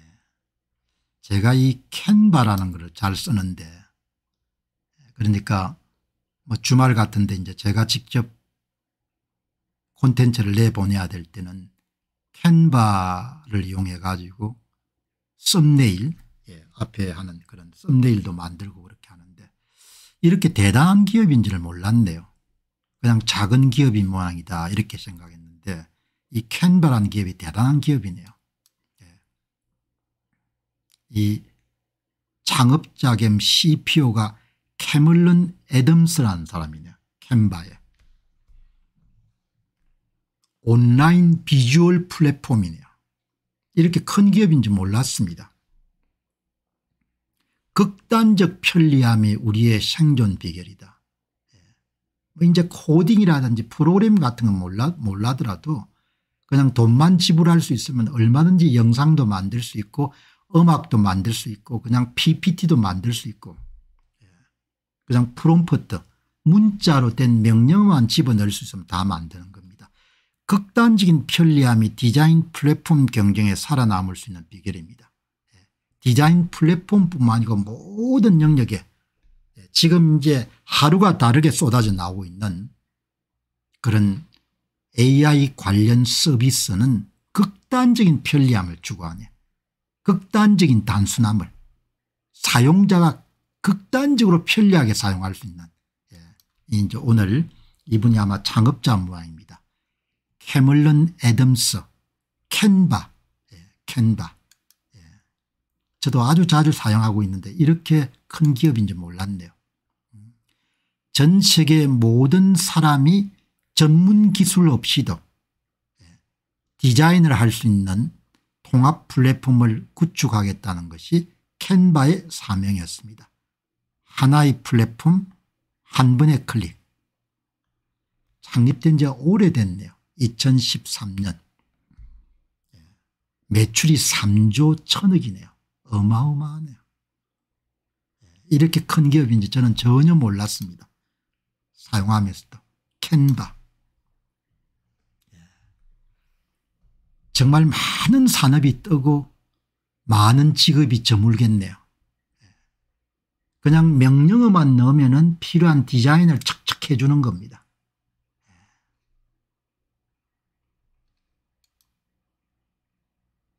세계 190개국에서 1억 8천5백만 명이 사용되니까 저도 이게 한, 한 명이니까 포춘 500대 기업 가운데 90%가 캔바를 통해서 디자인 사진 영상 작업을 하니까 별도의 프로그램 다운로드 없이 모바일 앱에서 디자인 편집을 할 수 있게 한 대중화 전략이 캔바를 어도비의 대항마로 키웠다.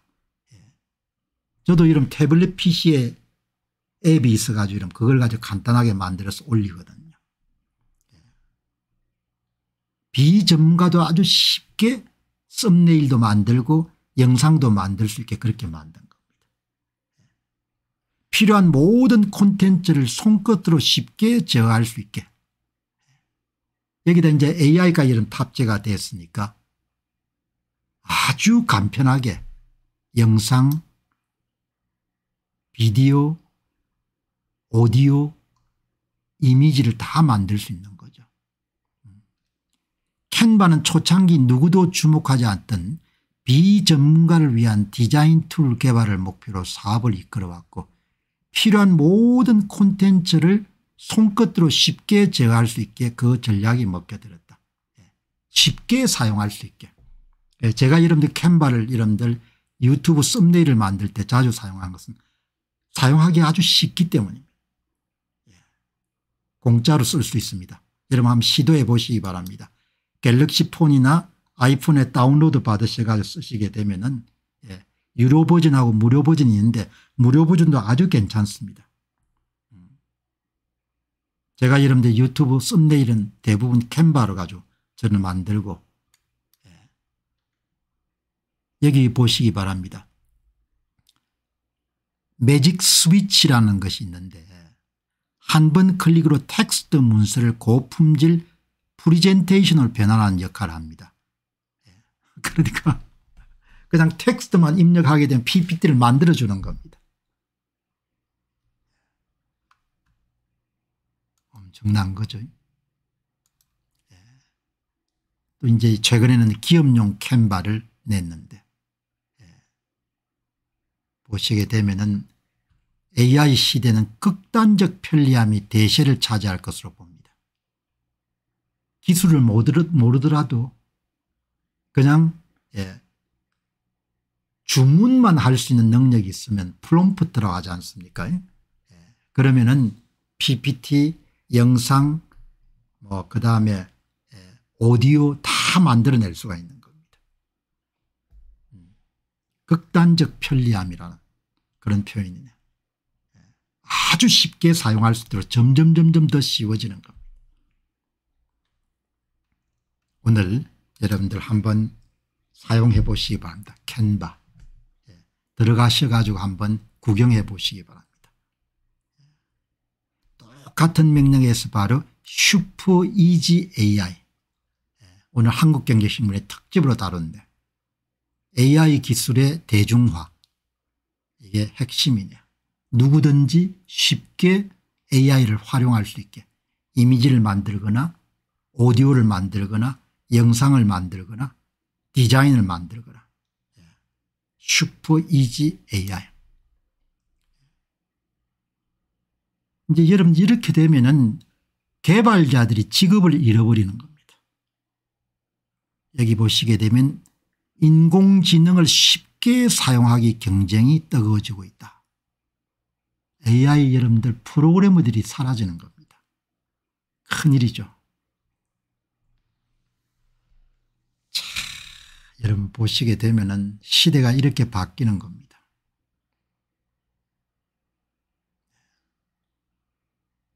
그동안 개발자들이 담당했던 영역을 다 여러분 AI에다 다 포함을 시켜버린 겁니다.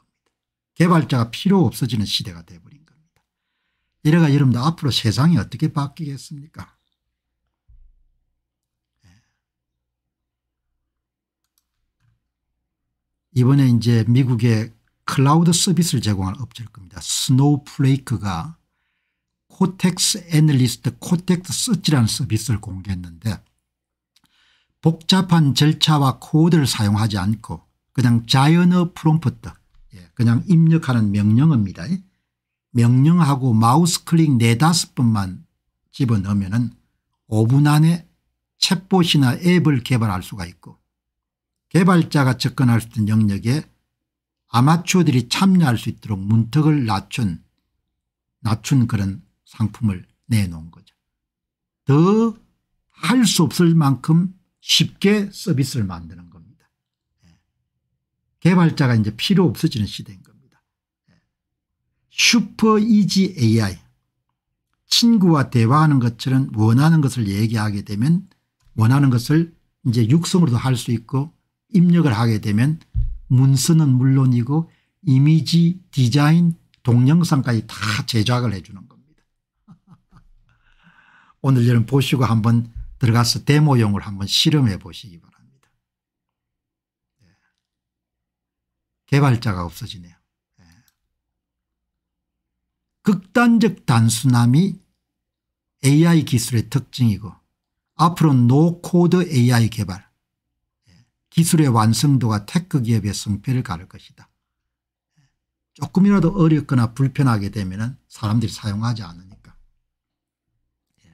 어제 여러분들 저 쿠팡하고 신세계 여러분들 관련된 영상을 딱 내보내니까 그 하단에 예, 신세계 이름 온라인을 사용해 온 사람 후기가 유저 인터페이스 사용자 편리성이 많이 떨어진다는 이야기 그대로 나오지 않습니까 예. 복잡함하고는 완전히 거리가 멀은 그런 시대로 가는 겁니다. 예. 여기 보시게 되면 개발자가 없어지는 겁니다. 슈퍼 이지 AI 시대 개발자가 필요가 없는 겁니다. 그냥 프롬프트만 넣을 수가 있으면 은 적절한 점, 점, 질문만 던질 수가 있으면 은 어제도 이런 보니까 예, 그런 저 최태원 회장 관련된 건도 최태원 회장의 1심 판결에 특유재산 관련된 것도 정확하게 이런 질문을 집어넣으니까 훨씬 더 상세한 답을 주더고 프롬프트. 정확한 명령을 집어넣으니까. 예. 이 개발자들이 위기를 느낀 거죠. 정말 인기 있는 일, 업종이었는데. 기술보다 무한한 상상력이 필요하고 명령어 프롬프트 15개가만 입력하게 되면 애니메이션을 만들어낼 수 있는 시대가 된 겁니다. 생성형 인공지능이 애니메이션을 제작해주는 플랫폼이 등장했는데 AI 스타트업 더 시뮬레이션의 쇼러너다. 한번 들어가서 여러분 해보면 좋겠네요.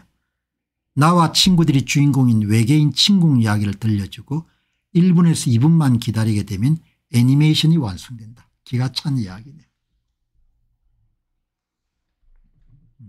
쇼러너. 예.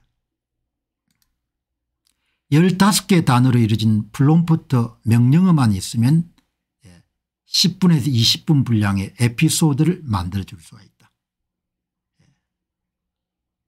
누구나 재미있는 이야기 소재만 있으면 간단한 명령어 프롬프트만 입력하게 되면 흥미로운 여러분들 영화가 제작될 수 있다. 아, 대단하네요. 오늘 맞추고 나서 저도 한번 들어가서 쇼러너에 한번 해보도록 그렇게 하겠습니다. 음. 그래서 여러분들 사람을 자르는 겁니다. 그러니 여러분들 명문대학에서 컴퓨터 공학과가 공부가 굉장히 빡세거든요. 이제 그 직장을 잡기가 힘든 겁니다. 예. 구조조정이 그 미국에는 칼로 사람 잘라버리지 않습니까 마이크로소프트사 클라우드 여러분들 분야에 근무하던 사람들이 직장을 잃고 구글의 유튜브 광고 담당자들도 직장을 잃고 벌써 8만 9천 명 정도가 해고가 됐네요. AI가 직원을 일터에서 밀어내는 일은 앞으로 더 잦아질 것이다. 제가 가끔 그런 이야기 여러분 드리지 않습니까 지금은 이제 직업색에서 약간 거리를 두게 됐는데 엔제디님 고맙습니다. 자주 후원해 주시네요. 지금 젊은 분들은 이제 얼마나 여러분들 빡세게 세상을 살아갈까. 예. 사람하고 이러면 경쟁하는 것이 아니고 이제 기계하고 경쟁을 해야 되니까. AI란 이름 기계하고 이름 경쟁해야 되니까. 예. 어마어마한 여러분들 변화가 생긴 겁니다. 슈퍼 이지 AI는 인공지능 기술을 누구나 쉽게 사용할 수 있도록 만든 새로운 트렌드를 가리키고 예. 이것은 보통 사람들에게 AI 기술의 접근성과 사용 편의성을 크게 향상시키는 것이고 아주 간편한 사용 복잡한 코딩을 사용할 필요가 없이 그냥 예, 몇 개의 플롬프트하고 몇 번의 클릭만으로서 콘텐츠를 만들 수 있고 예, 그리고 텍스트 문서로 PPT도 만들 수 있고 기술을 대중화하고 민주화하는 것이다. 그 대신에 어마어마하게 많은 직업이 없어지겠죠. 뭐 막을 수는 없는 겁니다. 큰 시대의 추세니까. 그래서 제가 방송에서 시시콜콜한 이야기도 여러분들 가끔 다루지만 이 큰 트렌드를 안 놓치려고 저도 안 놓치려고 공부를 하는 겁니다. 저도 놓치지 않고 제가 놓치지 않는다는 것은 제가 성장하는 것이고 오늘 방송 보시는 분들도 성장해 가는 것이죠. 성장이 멈추고 되면 자꾸 옛날 이야기를 하니까 앞에 이야기를 하는 겁니다. 앞으로. 예. 그 이제 변화라는 것은 이게 이런 트렌드를 막을 수가 없으니까 이 큰 변화의 빛과 그림자를 정확히 이해하고 여기에 적응해서 이제 예. 성자가 되는 길을 찾아야 되는 거죠. AI 기술이 완전히 대중화가 돼버린 겁니다.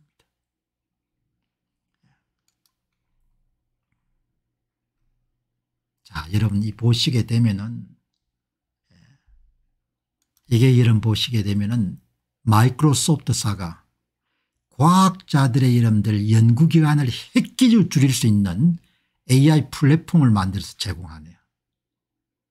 전 세계 과학자들에게 예, 본인의 리서치 연구 프로젝트를 진행하는데 몇 년이 걸려야 될 것을 며칠로 줄일 수 있는 신약을 개발하게 되면 신약 개발에 많은 그런 이런 후보군들을 몇 년이 걸려야 될 것을 며칠로 이름 단축시키는 그런 종류의 플랫폼을 뭡니까 AI 기반을 둔 플랫폼을 제공하는 그런 뉴스가 나왔네요. 마이크로소프트가 과학 전문 AI 플랫폼을 출격시키다. 분자 탐구로부터 합성까지 며칠이면 끝이 난다. 전 세계 과학자들에게 AI 도구를 제공하다. 어마어마한 거죠. 예. 여러분께서 제가 방송 후미에 항상 새 트렌드를 이렇게 필사적으로 소개하는 이유가 딴 게 없는 겁니다. 예. 시대가 이렇게 바뀌니까 저마다 빡세게 준비를 잘 하자는 거고 신세계에 승리하는 사람이 되자는 겁니다. 엄청나지 않습니까 신약을 개발하는데 수천 개의 후보군이 있을 건데 그걸 뭡니까 몇 달 몇 년을 가지고 그 후보군을 골라내네 그걸 일목요랑 며칠 몇 시간 만에 다 이름 추려 가지고 몇 개로 딱 압축해 주는 겁니다.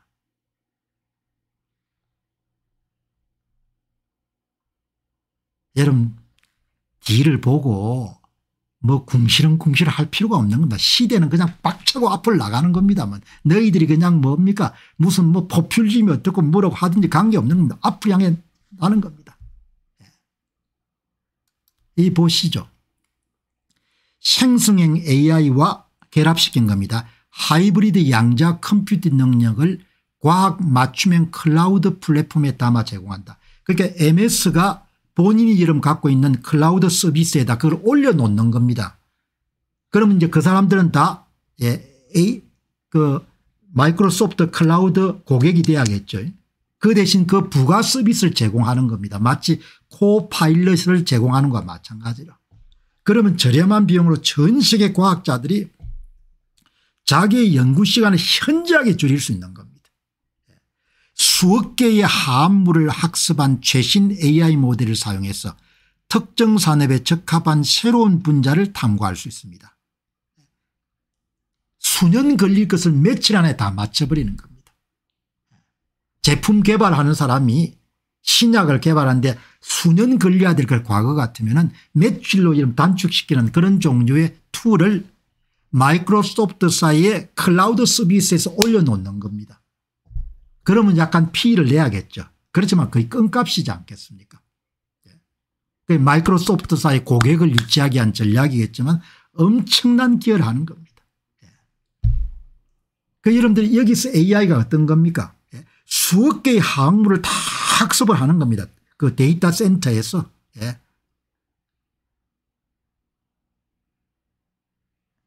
GPU를 사용해 가지고 어마어마한 거죠. 그러면 마이크로소프트는 왜 이렇게 하냐 예. 뭐 사명감도 있겠죠. 그러나 마이크로소프트사가 지금 클라우드 서비스 2등 1등이 아마존이지 않습니까 마이크로소프트가 계속 지금 따라잡고 있죠. 예. 그러면 그 마, 이크로소프트 클라우드의 부가 서비스를 계속 제공해 더 많은 사람들이 여러분들 뭐죠 마이크로소프트의 고객이 될 거 아닙니까 그런데 과학자들의 입장에서는 가격 대비 가성비가 엄청나게 높겠죠. 그럼 아마존 쓰는 사람들이 다 마이크로소프트의 클라우드 서비스 쓸 거 아닙니까 시간을 시간이 이 사람들 돈인데 시간을 절약해 주는 방법을 제공하지 않습니까 최신 디지털 도구를 제공해 전 세계 연구자들의 독창성을 활용해 최고의 연구 성과를 낼 수 있도록 마이크로소프트가 지원하고 있습니다. 지금까지 우리는 코파일럿 같은 생성형 AI 해급 도구로 연구자들의 새로운 창의성의 물결을 일으키며 생산성을 크게 향상시켰습니다. 여러분 지금 보시기 바랍니다. 이 지금 방송을 하는데 방송을 하는데 과거 같으면은 키워드 검색을 통해 가지고 여러분들 내가 설명하고 싶은 걸 다 찾아야 될 거 아닙니까 그래서 제가 어제 그런 말씀을 드렸지 않습니까 야, 이 구글 검색이 상당한 타격을 받겠다. 구글링이 영원할 줄 알았는데 이 구글 검색이 키워드 검색인데 키워드 검색의 본질이라는 것은 수익 모델이라는 것은 키워드 검색에 수많은 콘텐츠가 나오면 그 수많은 콘텐츠를 사람들이 다 일일이 방문해 그게 시간이 들어가 시간과 노력이 들어가지 않습니까 그래야 돈을 벌 수 있는 체제인 겁니다. 그런데 AI 검색이란 것은 그 내비게이션 예. 이곳저곳을 다닐 필요 없이 그냥 답을 주잖아요. 그래서 구글 여러분들 주식을 갖고 있으면 안 되겠구나 이런 식 이야기를 드렸지 않습니까 예. 어떤 분들은 그냥 기담아 그냥 흘려 듣겠지만 아 그래도 천하의 구글이 무슨 문제가 있겠습니까 이렇게 이야기하겠지만 제 이야기를 귀담아 듣는 분도 계시겠죠. 야 이게 보통 시대가 아니구나. 예. 그러니까 여러분 이 방송에서 드리는 이야기가 다른 여러분들 뭐 많은 유튜브들이 좋은 콘텐츠를 말씀을 하겠죠.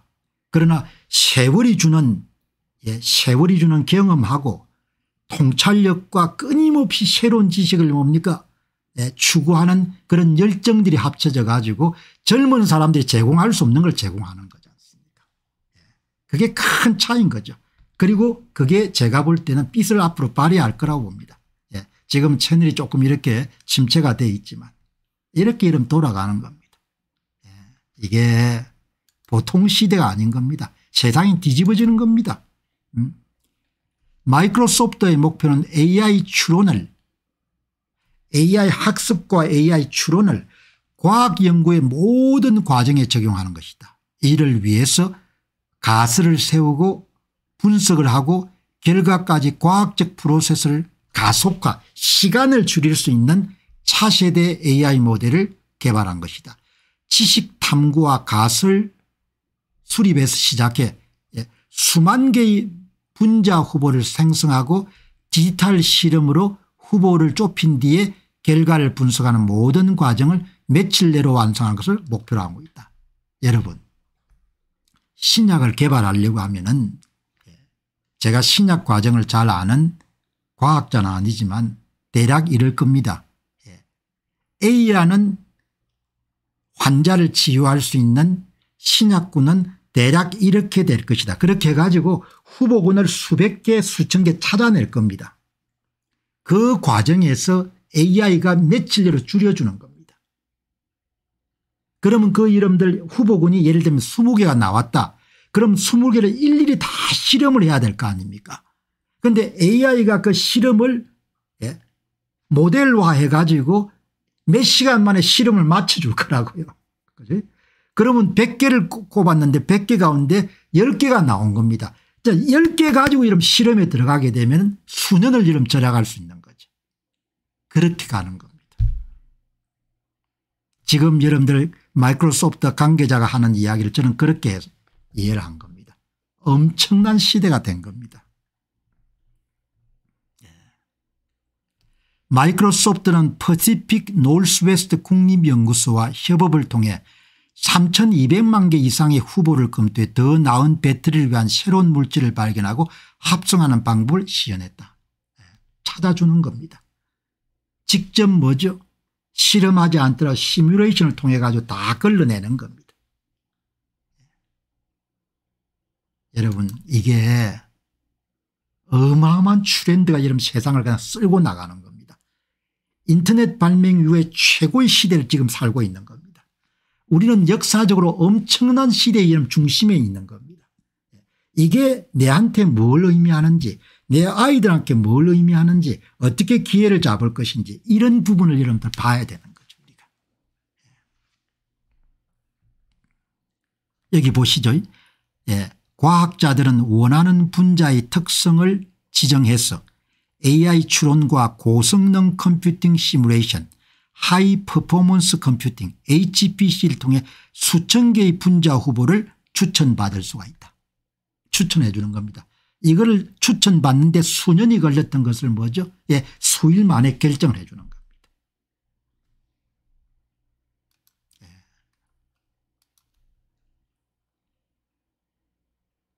자연의 도구를 활용하면 이 새로운 패러다임 모든 연구 단계에서 AI가 과학적 보조자 역할을 하며 자연적으로 추론할 수 있게 될 것이다.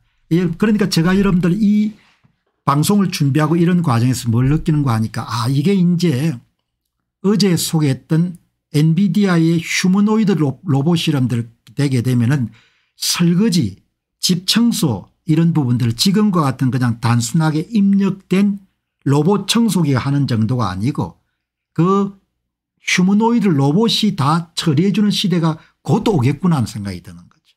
예. 지금 여러분들 이 방송 준비하면서 연구지 않습니까 리서치자면 리서치.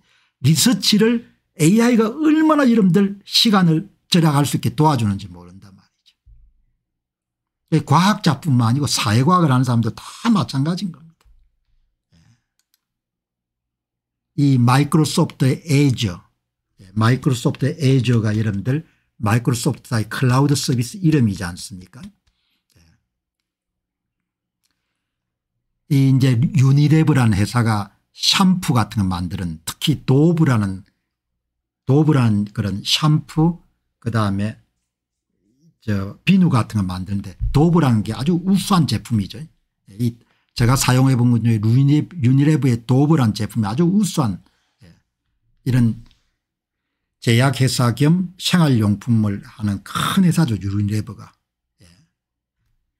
이 회사는 마이크로소프트사와 협력해서 제품 혁신을 위한 새로운 디지털 역량을 강화해왔고 마이크로소프트 Azure 기술 클라우드 기술을 통해서 디지털 연구소인 데이터랩에서 디지털 비전을 실현하고 있다. Unilever는 Copilot 마이크로소프트사 이름들 클라우드 서비스죠. Azure Quantum Elements의 고급 시뮬레이션 기능을 활용해서 자연어로 과학 정보를 검색할 수 있고 이 기술을 통해 실험실에 수십 차례 실험을 할 시간을 절약하고 시뮬레이션을 다 해가 실험, 실험을 안 해도 되게 만드는 겁니다. 예. 수천 개의 계산 시뮬레이션을 빠르게 수행할 수 있다. Unilever 과학자들은 이러한 시뮬레이션에 얻은 데이터를 사용해 수만 개의 재료를 신속하게 선별하거나 복잡한 화학 반응을 탐구하는 모델을 정밀하게 조정할 수 있다. 예. 시간과 자원을 어마어마하게 절약할 수 있는 거죠. 예. 대단한 이런 시대인데 여기 보시게 되면 제가 한번 물어봤습니다. 신약 개발에 어떻게 사용하냐 후보 물질 발굴 및 탐색 AI를 예. 사용해서 새로운 분자 구조의 디자인 임상실험 최적화 기존의 방대한 데이터를 분석하고 이것을 통해서 약품 후보들을 발굴하고 하는 일. 예. 자 여러분 건강하게 오래오래 사시기 바랍니다.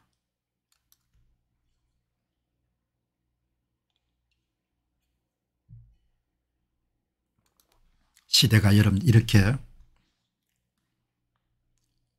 역동적으로 신세계가 펼쳐지는 거죠. 예, 그래서 움츠려들지 말고 예, 이 시대에 예, 이뭐 앞서가는 자는 못 되더라도 계속해서 새로운 지식을 수용하고 적응해 나갈 수 있어야겠다 이렇게 봅니다. 자 여러분 이제 오늘 방송에 이 실물 자산을 코인화하는 겁니다. 여러분 정권이라는 것이 딴 게 아니지 않습니까? 회사의 자산을 주식으로 만들어서 여러분들 거래하는 거지 않습니까? 그런데 회사만이 아니고 부동산, 그림, 지적재산권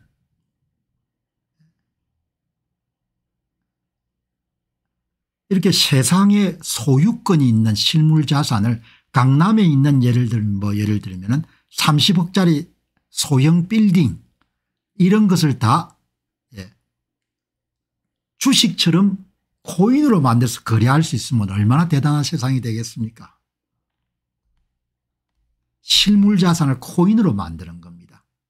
이게 그냥 하는 이야기가 아니고 기술적으로 완벽하게 다 준비가 돼 있고 상용화가 있는 겁니다. 그 기술은 오라클이 아주 많이 앞서 있더군요. 실물 자산을 코인으로 만드는 겁니다. 바로 이게 코앞에 지금 펼쳐지고 있는 겁니다. 실물 자산을. 그러면은 강남에 이런 100억짜리 건물은 사기가 힘들지만 100억짜리를 1억 원짜리 코인으로 100개를 만들면 은 1억은 가질 수가 있지 않습니까 투자를 해가지고 그렇게 이름 돌아가는 겁니다. 예. 여기 지금 경제신문이나 이런 걸 보게 되면 많이 나오는 것이 실물자산 토큰화라는 그런 이야기가 많이 나오거든요. 강남 빌딩을 1억 코인 100개로 100억짜리 강남 코인을 요즘 뜨는 RWA Real World Asset 실물 자산의 정체는 무엇인가 이런 게 나온단 말이죠. 여러분 그냥 뭐 그런가 보다 이렇게 넘길 수 있는데 예, 한번 들여다보죠.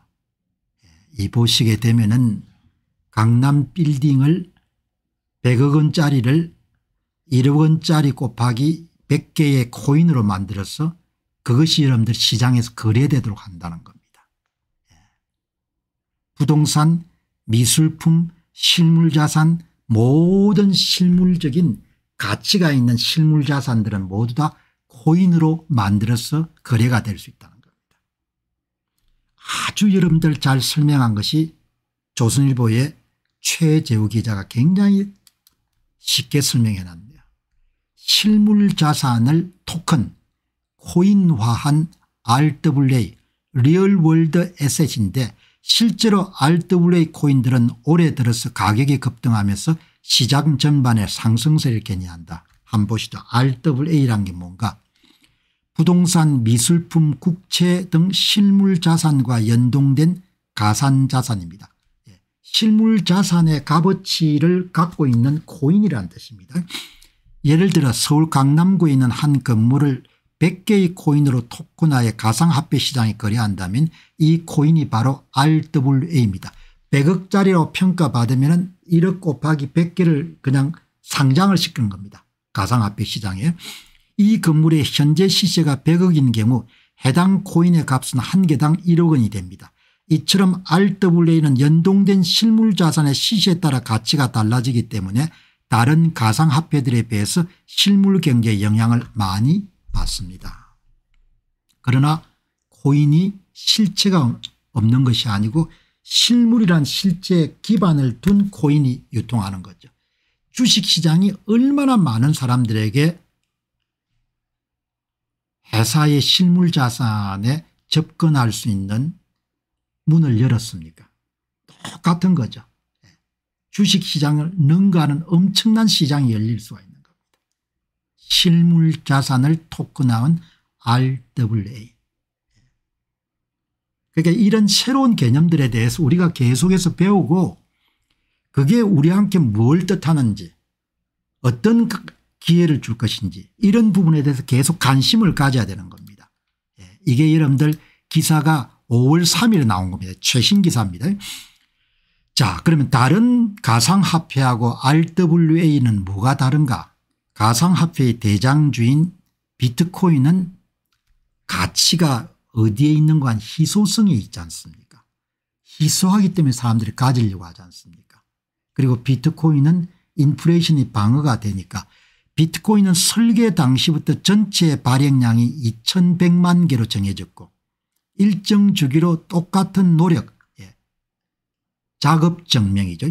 POW Proof of Work 예. 컴퓨터를 사용해서 채굴을 해야 예.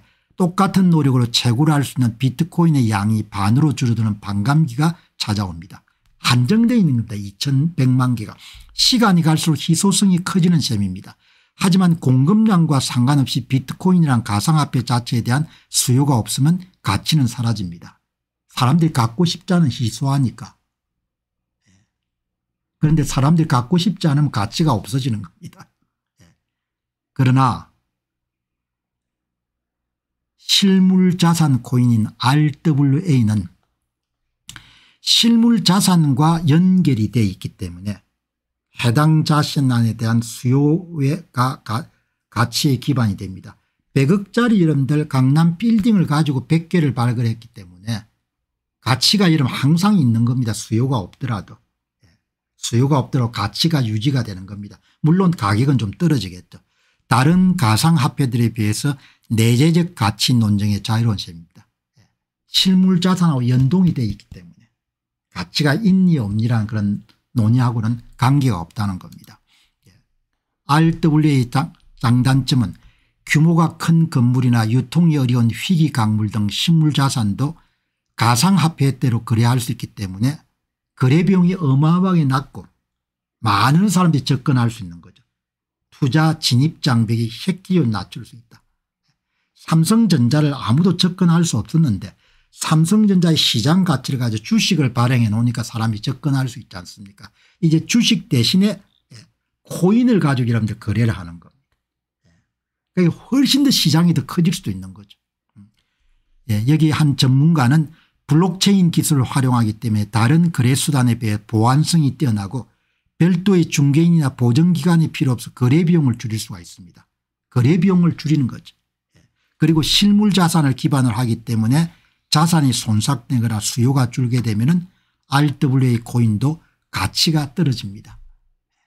그런데 주식시장은 주식만 여러분들 거래를 했는데 여기 RWA 시장은 실물 자산으로 된 가치가 있는 모든 것은 거래 대상이 될 수가 있는 겁니다. 시장이 열리게 되면 어마어마한 시장이 열리겠죠. 보시기 바랍니다. 이미 돈 냄새를 잘 맡는 사람들은 이 시장을 만들어 가는 겁니다. 비트코인 펀드를 상품하는데 가장 큰 역할을 했던 세계 최대의 자산운용회사인 블랙록 블랙록 예. 미국 정권거래위원회 첫 번째 RWA 펀드를 신청하였습니다. 예. 다음 단계는 금융자산의 토큰화입니다. 예. 이 사람들 귀신처럼 이런 돈, 돈 냄새를 맡는데 비트코인을 펀드로 만들었어요. 여러분들. 만든 사람들이 다음 단계는 금융자산을 토큰화하는 겁니다.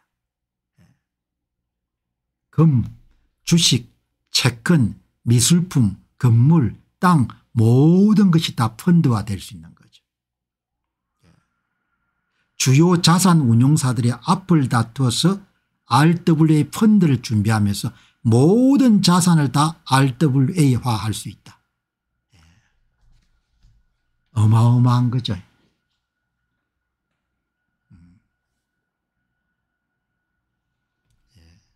이제 오늘 이 이야기를 드리는 것은 며칠 전에 국내에서 한 모임이 있었더군요.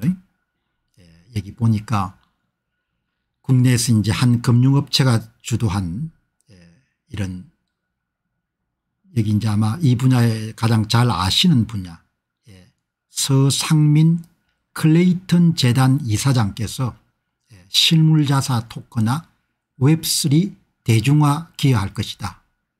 이렇게 했는데 한국은 굉장히 보수적이랍니다.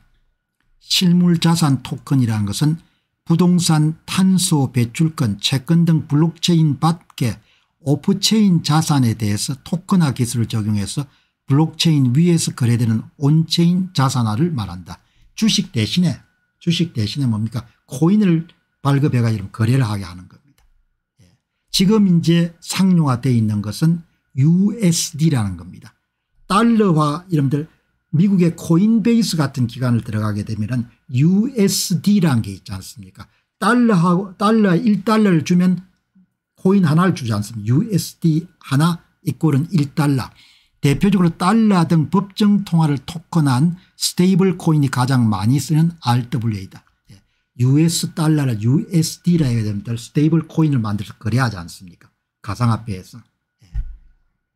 1달러에 1USD. 엄청난 참 사람들 머리 좋아요. 예. 가치가 있는 코인을 여러분들 거래하는 겁니다. 가치가 있는. 그런데 이게 실물자산이 연동되어 있기 때문에 가치 논쟁으로부터 자유롭고 그 다음에 많은 사람의 대중화를 할 수 있는 강남 빌딩 100억짜리는 사기는 힘들지만 강남 빌딩 100억을 이름 1억으로 낮춰서 거래하게 되면 살려고 하는 사람이 있을 겁니다. 100분의 1을 자기가 지분을 가지는 겁니다. 보시게 되면은 USD stable coin 1달러에 대한 실물 저 실물 자산 코인 미국 달러와 1대1 비율로 가치가 고정된 암호화폐 USD가 예, 가치가 안정돼 있고 담보를 받는 방식이고 국제 송금에 되게 유리하죠.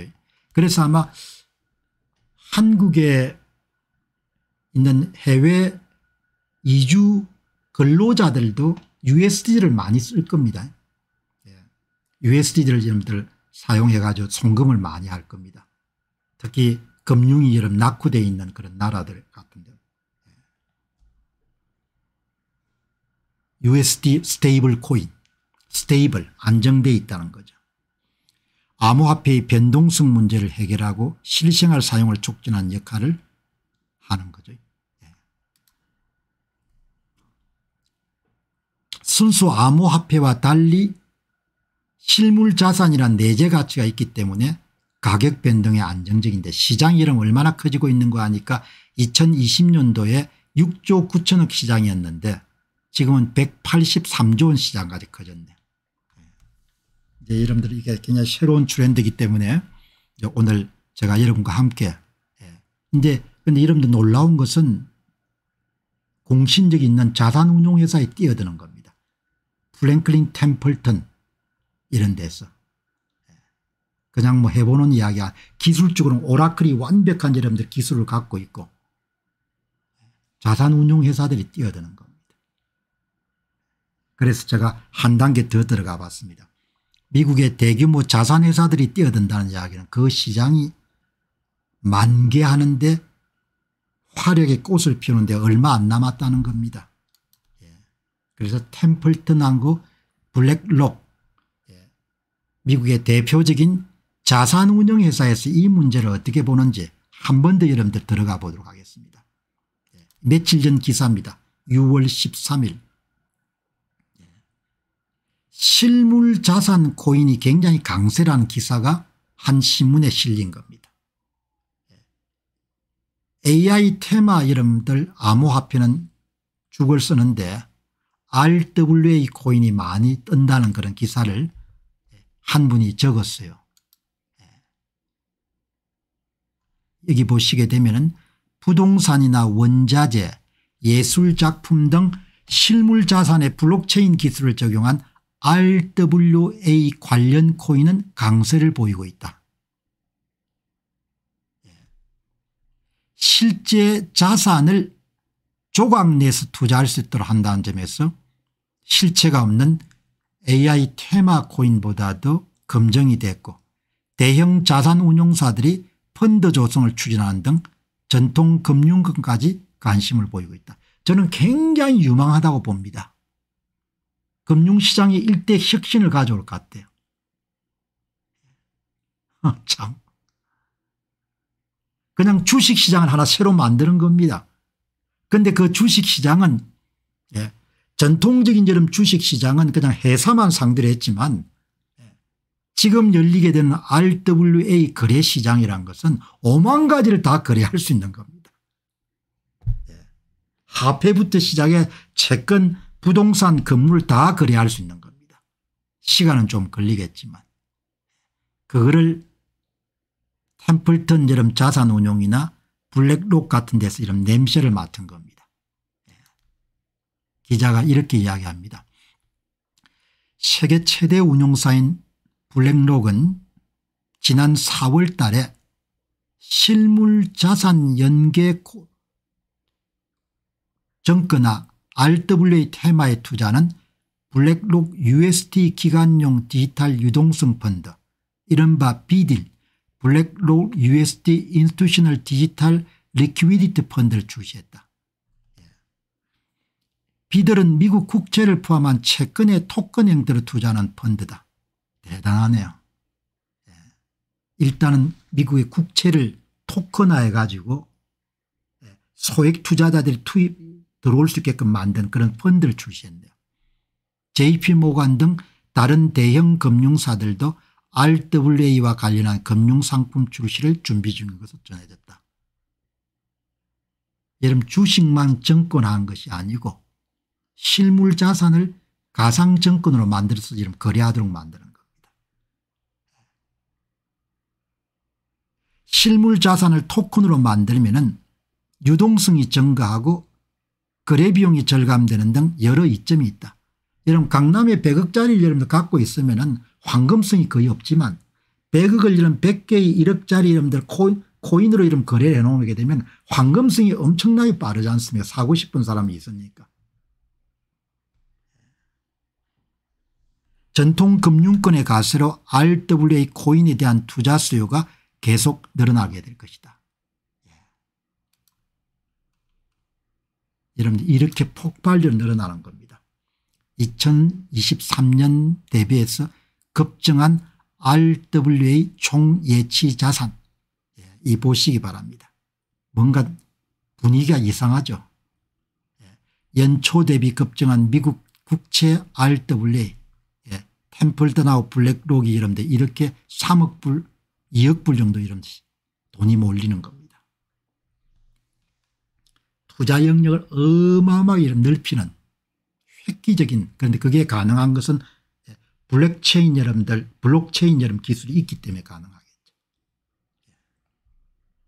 여기 보시게 되면은 여기에 가장 앞서는 프랭클린 템플턴 자산운용사의 CEO인 Jenny Johnson인 아주 적극 적극적입니다. Franklin Templeton의 CEO는 토큰화 기술이 Oracle이 갖고 있는 기술이 private 시장을 대중화할 수 있을 것이다. 사모펀드 시장을 대중화할 수 있다는 겁니다. 지금은 사모펀드에 상당히 고액 자산가도한 춤 도입될 수 있지만 사모펀드 시장을 대중화할 수 있다는 겁니다. 그걸 잘라서 팔면 그래서 on-chain money market 펀드 운영 Franklin Templeton on-chain money market 펀드 분야의 선구자적인 역할을 수행하고 있다. 실물자산 토큰화 이렇게 여러분들 이런 이야기를 하는 겁니다. 그 다음 미국의 여러분 1등 가는 자산운용회사가 블랙롤의 레리 핑크란 CEO지 않습니까? 이 보시게 되면 은 실문자산 토크나 시장 진출 블랙록은 2030년까지 실물자산 토크나 시장이 16조 달러가 될 것으로 본다. 블랙록은 비트코인 현물 ETF 상장 지수 펀드를 선보인 데 이어서 금융자산의 토큰화 사업에 속도를 내고 있다. 예, 큰 시장이 될 것 같네요. 여러분 그래서 계속해서 이런 관련 기사가 나오는. 그림도 토큰화할 수 예, 거래할 수 있고 데이터도 거래할 수 있고 건물도 거래할 수 있고 땅도 거래할 수 있고 새로운 금융상품이 우후죽순처럼 생겨날 수 있는 겁니다. 모든 것을 다 여러분들 증권화시켜 버릴 수 있는 겁니다. 디지털 증권으로. 지금까지 블록체인으로 토큰화된 자산의 대부분은 미국 달러 기반의 stable coin 한 개당 1달러 가치를 지닌 암호화폐 USD죠. 그런데 이 범위가 이제 기하급수적으로 늘어날 거란 이야기. 블랙록의 CEO인 레리 핑크는 RWA가 차세대 시장이 될 거라고 보고 예, RWA 시장이 무려 16조 달러 이경 1600조 시장이 2030년까지 형성될 것이다. 주식 채권 등 기존 금융상품은 물론이고 유형 무형 자산이 모두 다 RWA로 전환되며 엄청난 시장이 형성될 것이다. 이렇게 여러분들 보시면은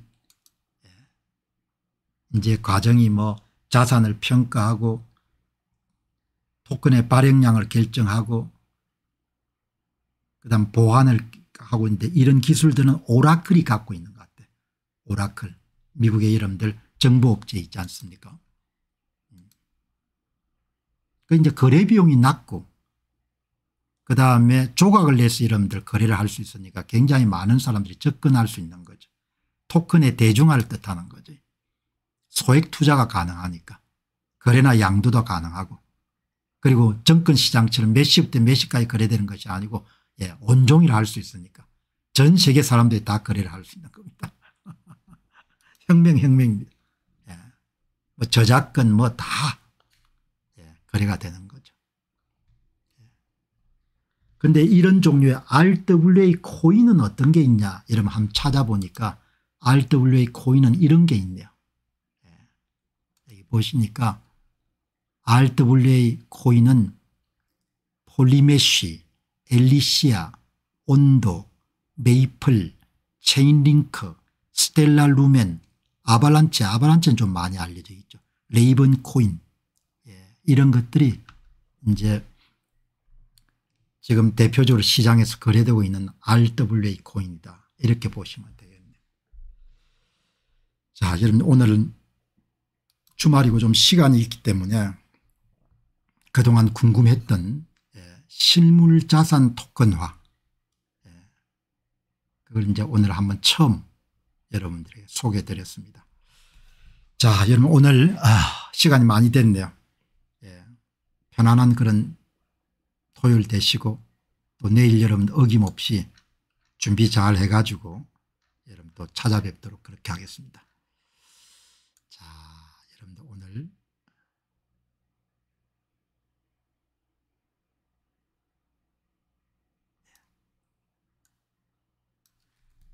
자 마무리하도록 그렇게 하겠습니다.